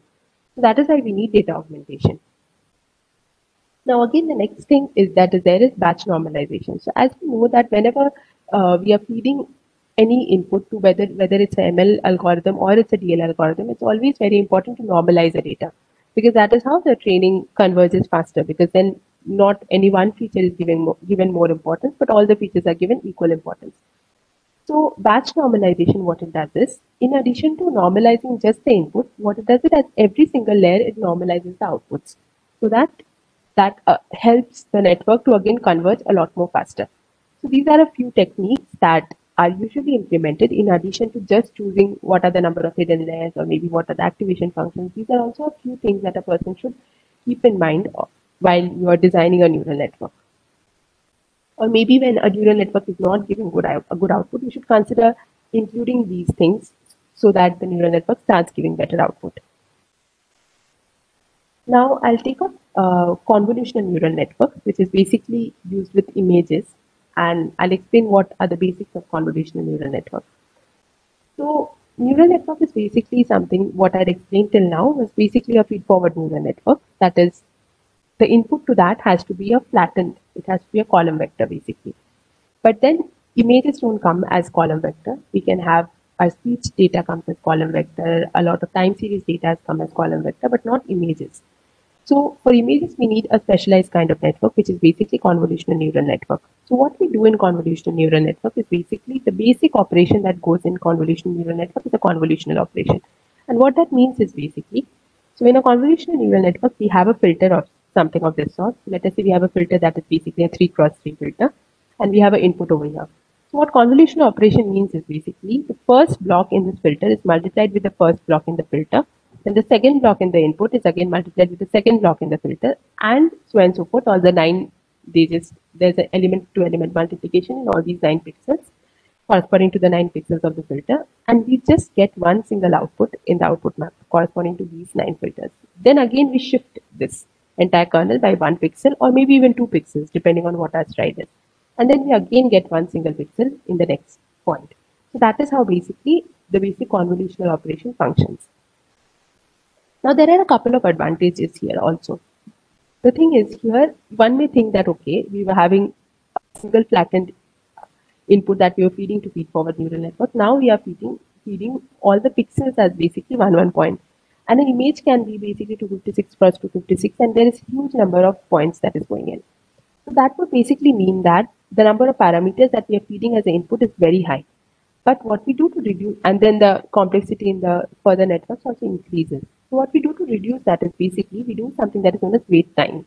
That is, this kernel would have the same parameters irrespective of where we are convoluting it with. We can convolve it at the right hand top corner, we can convolve it at the left hand top corner, but we still continue to have the same number of parameters, same parameters basically. That is basically known as weight tying. This is again a kind of regularization technique that we do for convolutional neural network. And as we can also see, there is a sparse connection. That is the whatever we get output over here is basically only dependent on these nine net, nine pixels and not dependent on any other pixels in the input map. This is sparse connection which works for images because images, whenever you see images, there is usually a local correlation among pixels placed at a certain corner. And it's not usually that in an image that a left hand side pixel, left hand side upper corner pixel will be related to a right hand side upper corner pixel. There's usually a lot of local correlations that are there in images. And that's what these convolutional neural networks are trying to encash on. Now, a couple of typical CNN tasks are basically you can have object detection, you can have object classification, or you can have basically any uh, any net any any kind of tasks that happen with the images are usually done with convolutional neural networks. So now moving on, I'll be describing a couple of very common convolutional neural networks. But then before that, I will also, this is basically a diagram of how exactly a convolutional neural network is. So this is basically input. Then we have a couple of convolutional blocks over here. And at the output of it, we always have a max pooling block. So what is a max pooling block? Is basically you take, say, a max pooling, you do a 4 cross 4 pixel if you're having, you will just take only the maximum value of it and you'll pass it on to the next block. So that is basically done to reduce the dimensionality of an image because otherwise if you keep going on with these size images at every stage, we can only imagine the last layers will be heavily, like they'll have a huge number of parameters and the network would just get overloaded. So we need to reduce the parameters. So what we do is to do that, we use all these max pooling and there's also average pooling. Max pooling is the most commonly used technique. And also convolutional operation, as we saw, is kind of a, it's, there's not much nonlinearity in it. So at the end of every convolutional layer, there is always a ReLU layer that gives the extra nonlinearity to it. So this is how basically uh, we'll have a number of convolutional layer, ReLU layer, and a max pooling layer.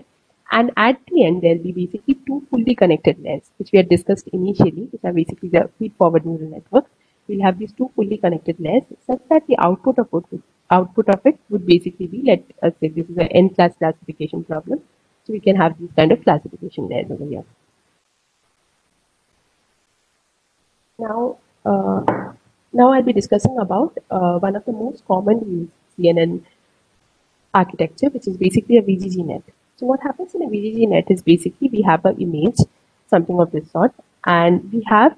So you can see that the black blocks are basically the convolutional plus ReLU blocks, and the red ones are basically max pooling layers, and the last two green uh, blue ones are basically the fully connected layers, and the last one is the softmax layer, and basically gives the output in terms of probability because it's a classification layer. So. Uh, so here we feed the input basically and it undergoes to convolutional operation. Then we reduce the dimensionality with the help of a max pooling layer, which is the red layer. Then we are, it again undergoes to convolutional and then again the dimensionality gets reduced with the help of max pooling layer and so on and so forth. You can see a lot of convolutional blocks and a lot of max pooling blocks over here. Then there are some fully connected layers and the output of it is basically, this is basically a uh, classification output that we get in terms of probability that okay, what is the probability of maybe it being a car or not being a car. Now there is another network that is uh, that has performed better than ResNet, that has performed better than VGG. Is basically ResNet. And also before I proceed further, so you'll see there's VGG 16, there is a Res, VGG 19. It basically means a VGG with 16 layers, a VGG with 19 layers. Then you would see ResNet 34, you would see ResNet 101. That basically means a ResNet led ResNet architecture that has basically 34 layers or a ResNet architecture that has 101 layers. So now it has been seen that how ResNet came into being is this that we had a VGG network, which was basically something like this, as it is shown over here. And then when we tried to make it deeper, say we wanted to have a 34 layer network, we said, okay, more the deeper it's better because the network would learn more. We'll have more neurons and more complicated functions can be learned now. So when we had the 34 layer network, it was seen that it did not perform well. It was actually performing worse than the VGG16. So that is when uh, scientists came up with this ResNet 34, which is basically introducing these residual connections over here. And what these residual connections does do is basically they, at this point in time, it will give a good initialization so that it can perform better, so that the performance doesn't get hurt anymore. And this actually seemed to work. And ResNet is one of the state of the art architectures that are used in most of the uh, CNN based uh, networks now. There's also one more network which is basically known as Inception Net. So, though I have not drawn, uh, shown the block of entire Inception Net over here, so basically Inception Net, what it does is now instead of having just convolutional blocks in Inception Net, we basically have these kind of modules, which are basically known as the inception module. So what it does is basically, so as we were having our output from a previous layer, and as I was telling that we were having these blocks. So let us say these, these as you can see over here, these are basically three cross three kernel blocks, and then there is a seven cross seven kernel block. So what it means is basically this is basically a three cross three, as you can see. So if you have this as seven cross seven, then it will become a seven cross seven kernel block. But then how do we choose? We can have a 3 cross 3 or we can have a 5 cross 5 or we can have a 7 cross 7. So now what people say is, okay, you don't have to choose that because ResNet and VGG required you to choose. So they had given that, okay, first a 7 cross 7, then a 5 cross 5. So what Inception Net says is we don't have to choose. We can apply all of them together and let the network decide what is the best what it does is basically you have an output from a previous layer and then you have a 3 cross 3 over here, you, got, you have a 5 cross 5 over here and then you have max pooling also and you have 1 cross 1 convolutions also. These 1 cross 1 are just for damage dimensionality reductions. So then what it does is it concatenates all the outputs from here and then as we train it, the network gets to decide which out of each of these convolutions will work better in our case. So that is basically the concept of inception net. So now that I've given a brief introduction of what feed-forward neural network is and then what CNN is and what are the state-of-the-art uh, networks that are used in CNN, there are also a couple of other networks which are basically autoencoders, which Professor Ravi was also indicating earlier. And then there's generative adversarial network. And though I will not get into the details of this, but just briefly I'll just say autoencoders are basically used to learn the hidden representation of any input and thereafter it gives the output. Uh, and GANs are basically something wherein you have a discriminator and a generator. So it works in a fashion that the discriminator has to discriminate what the generator generates basically. So these are uh, the two networks.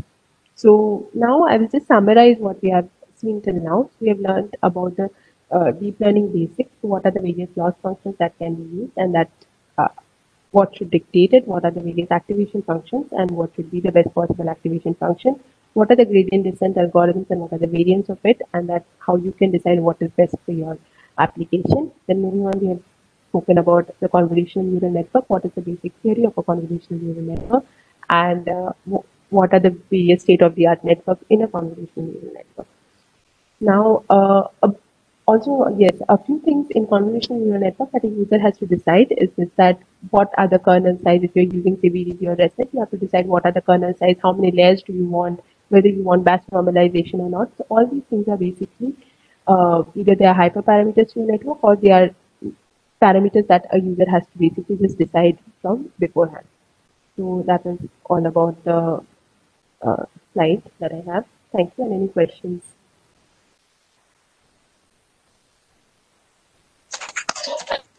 Thank you, ma'am, for explaining a lot of details about deep learning. Yeah, we have a couple of questions. Uh, first question is from Avinash Paul. Uh, what should be monitored for uh, stopping the network and how many dropout layers should be added to optimize the model?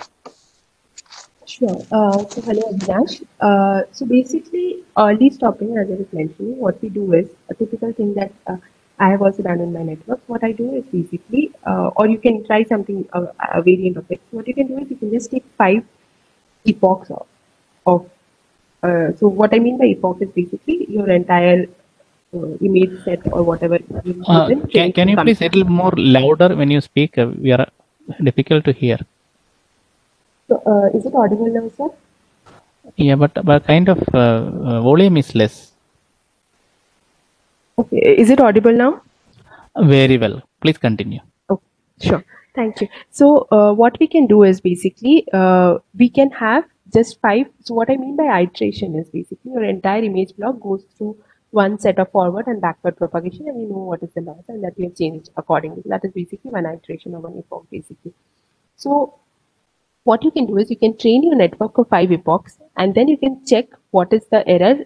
So at the end of every epoch, you'll be checking what is the error in your training set. But at the end of five epochs, you can also check what is the error in your validation set so that you know how it is doing in validation set also. So now remember validation set is a set wherein your network was not trained. So your network did not see that data set. So if your network is still doing better in validation set also, that is your validation set also, the error in validation set also keeps on reducing after every five epochs, that means you're good enough. Your network is generalizing. But then there will be a point where you will see that the training error is still reducing, but the validation error is not reducing. So that is the point where you should stop because that means your network has stopped generalizing. So that is basically something that should be monitored for early stopping. And uh, so I hope I've answered that section of your question. And the next thing is how many dropout layers should be added to optimize the model.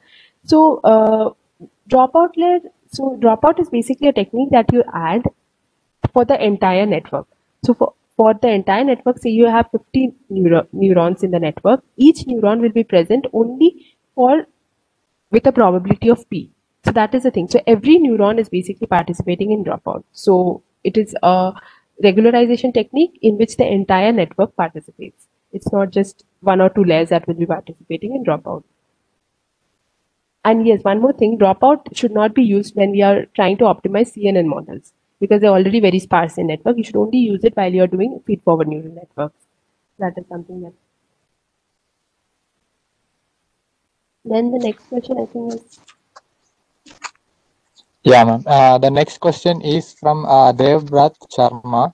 Uh, he's asking what is the role of bias in neural network and is there any fixed uh, method of uh, choosing the drop rate of the dropout layers other than trail and error?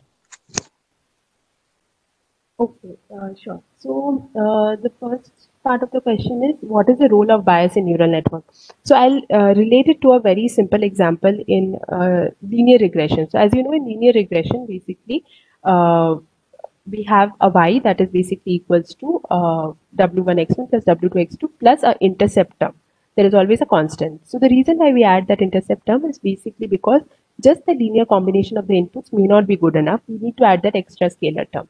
So that is the same thing that bias has. The, the role of bias is same in the neural network as the role of intercept in a linear regression. That is when you're just combining the inputs, it may not be good enough. You may just need to push the output a little bit more by a scalar term. So that is basically what the bias does. And the next thing is basically next question is what is uh, is there any fixed method of choosing the drop rate of the dropout layers other than trial and error method? Uh, I am not aware of. Uh, I don't think there is any fixed method of choosing a drop rate of dropout. I think what you mean is like how do you choose the probability p because, because that's a hyperparameter again that is something that you have to choose by trial and error method and one thing that comes to my mind is if you have let us say a lot of uh, neurons and a lot of data you can afford to uh, have a very low probability. That is your neurons can be present with a very low probability. You can afford that. But then if you're having say relatively smaller data set relatively lesser neurons you would probably want the neurons to be present in much more number of training epochs. So that is where you would probably choose a lesser, uh, I mean, a higher probability value, higher p. So I guess I've answered your question, Devbrat. And uh, the next question. Uh, okay, which is the most common activation function we use? That is from uh, Shirin Jadhav. So hello, Shirin. And uh, the most commonly used activation functions are TANH and ReLU. So ReLU is used in CNN-based networks. I have not seen TANH being used in CNN network, but TANH is used in a lot of NLP-based tasks or many a times even in uh, some feed-forward neural networks. So I would say sigmoid is not much used anywhere. So TANH and ReLU are the most commonly used activation functions. And the next question is uh, from uh, from Shruti. Uh, so hello Shruti. Uh, how how number of image dataset handled in deep learning? I didn't get your question. How number of image dataset handled in deep learning? Um, Shruti, can you just clarify this again? So uh, in the meantime, I'll just move on to the next question to um,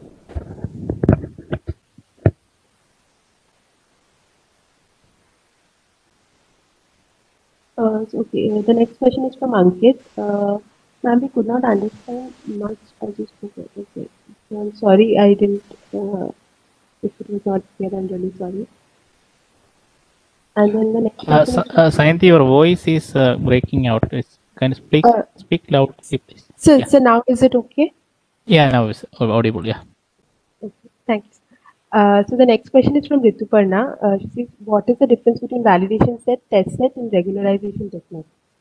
Uh, so validation set and test set is something that is irrespective of whether you're using a regularization technique or not. Regularization technique is validation set, test set, and training set is something that is used in all ML methods as well as in all DL methods. We will use it because we will need a training set wherein we will train the model. We will need a validation set wherein we can check whether what is our training model is good enough or not. And if it is good enough, we will test it in the test set. So these are the basic uses of a training set, a validation set, and a test set. And that is common to any ML method as well as any DL method. But then regularization is basically something that is something that we used in DL. We also use it in ML to avoid overfitting to avoid a network being over specialized in one task and not generalizing if you want generalizing. So uh, that is the thing.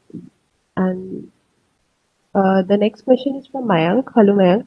Uh, it is how a one-dimensional CNN model is different to taking inputs in image CNN model. Okay, so uh, I think what you mean is how is a one-dimensional CNN model different from basically any normal CNN model that is basically taking images as an input. So convolutional operation is something that can be done in one dimensional, also in two dimensional. So uh, one dimensional, what you what you can see is basically you can have just two flattened uh, vectors, and you can just keep on multiplying them and getting a single uh, output. So I don't have an image right now to explain that, but you can just Google it. You would just see one dimensional convolution. You can understand basically what it means. And so whenever you're exploiting that one-dimensional convolutional operation, you can do a one-dimensional convolutional layers you can have. But whenever you're utilizing these two-dimensional convolutions that I just shown with the filters and all, you're basically using a two-dimensional convolution. Now, in images, you cannot use one-dimensional convolution because again, you're flattening the entire image and then you're losing all those local correlations because images are all about those local correlations within the pixels. So to preserve that, we keep we always use two-dimensional correlation whenever we are having input as an image. So okay, yes. So the next question is from Shruti. Uh, how dataset handled in deep learning? How image dataset is handled in deep learning for extracting image features from images which deep learning method is good. Okay, uh, so hello Shruti, thank you for clarifying the question. Uh, so how image data set is handled in deep learning is basically, as I mentioned, so the, whenever you're having images as a data set, the first thing is that you cannot use a feed-forward neural network, you have to use a CNN. And now in CNNs, a very safe bet is to use VGG or you have a good computational facility, you can always use a ResNet. You can also try something like Inception. There is DenseNet. There are other networks that are coming up. But I would say it is safe to say that you can always use a VGG or a ResNet if you're having image uh, data set. And uh, for extracting image features from images with deep neural networks. So all of these deep neural networks, what they do essentially is whenever there are layers, they are extracting the features and only the last two fully connected layers are the ones that are making a decision that whether to classify it say as a car or not as a car or a certain climatic phenomena or not. So only those last two layers are making decisions, the fully connected layers ones. All the previous layers, which are the convolution layers, are just doing the job of extracting the appropriate features. So whenever you're choosing a certain network, be it VGG or ResNet, they will do the work for you. You don't have to uh, think much. And uh, which deep neural net method is good for it. So again, VGG or ResNet would be sufficient for that. I think that finishes all the questions. So thank you, everyone.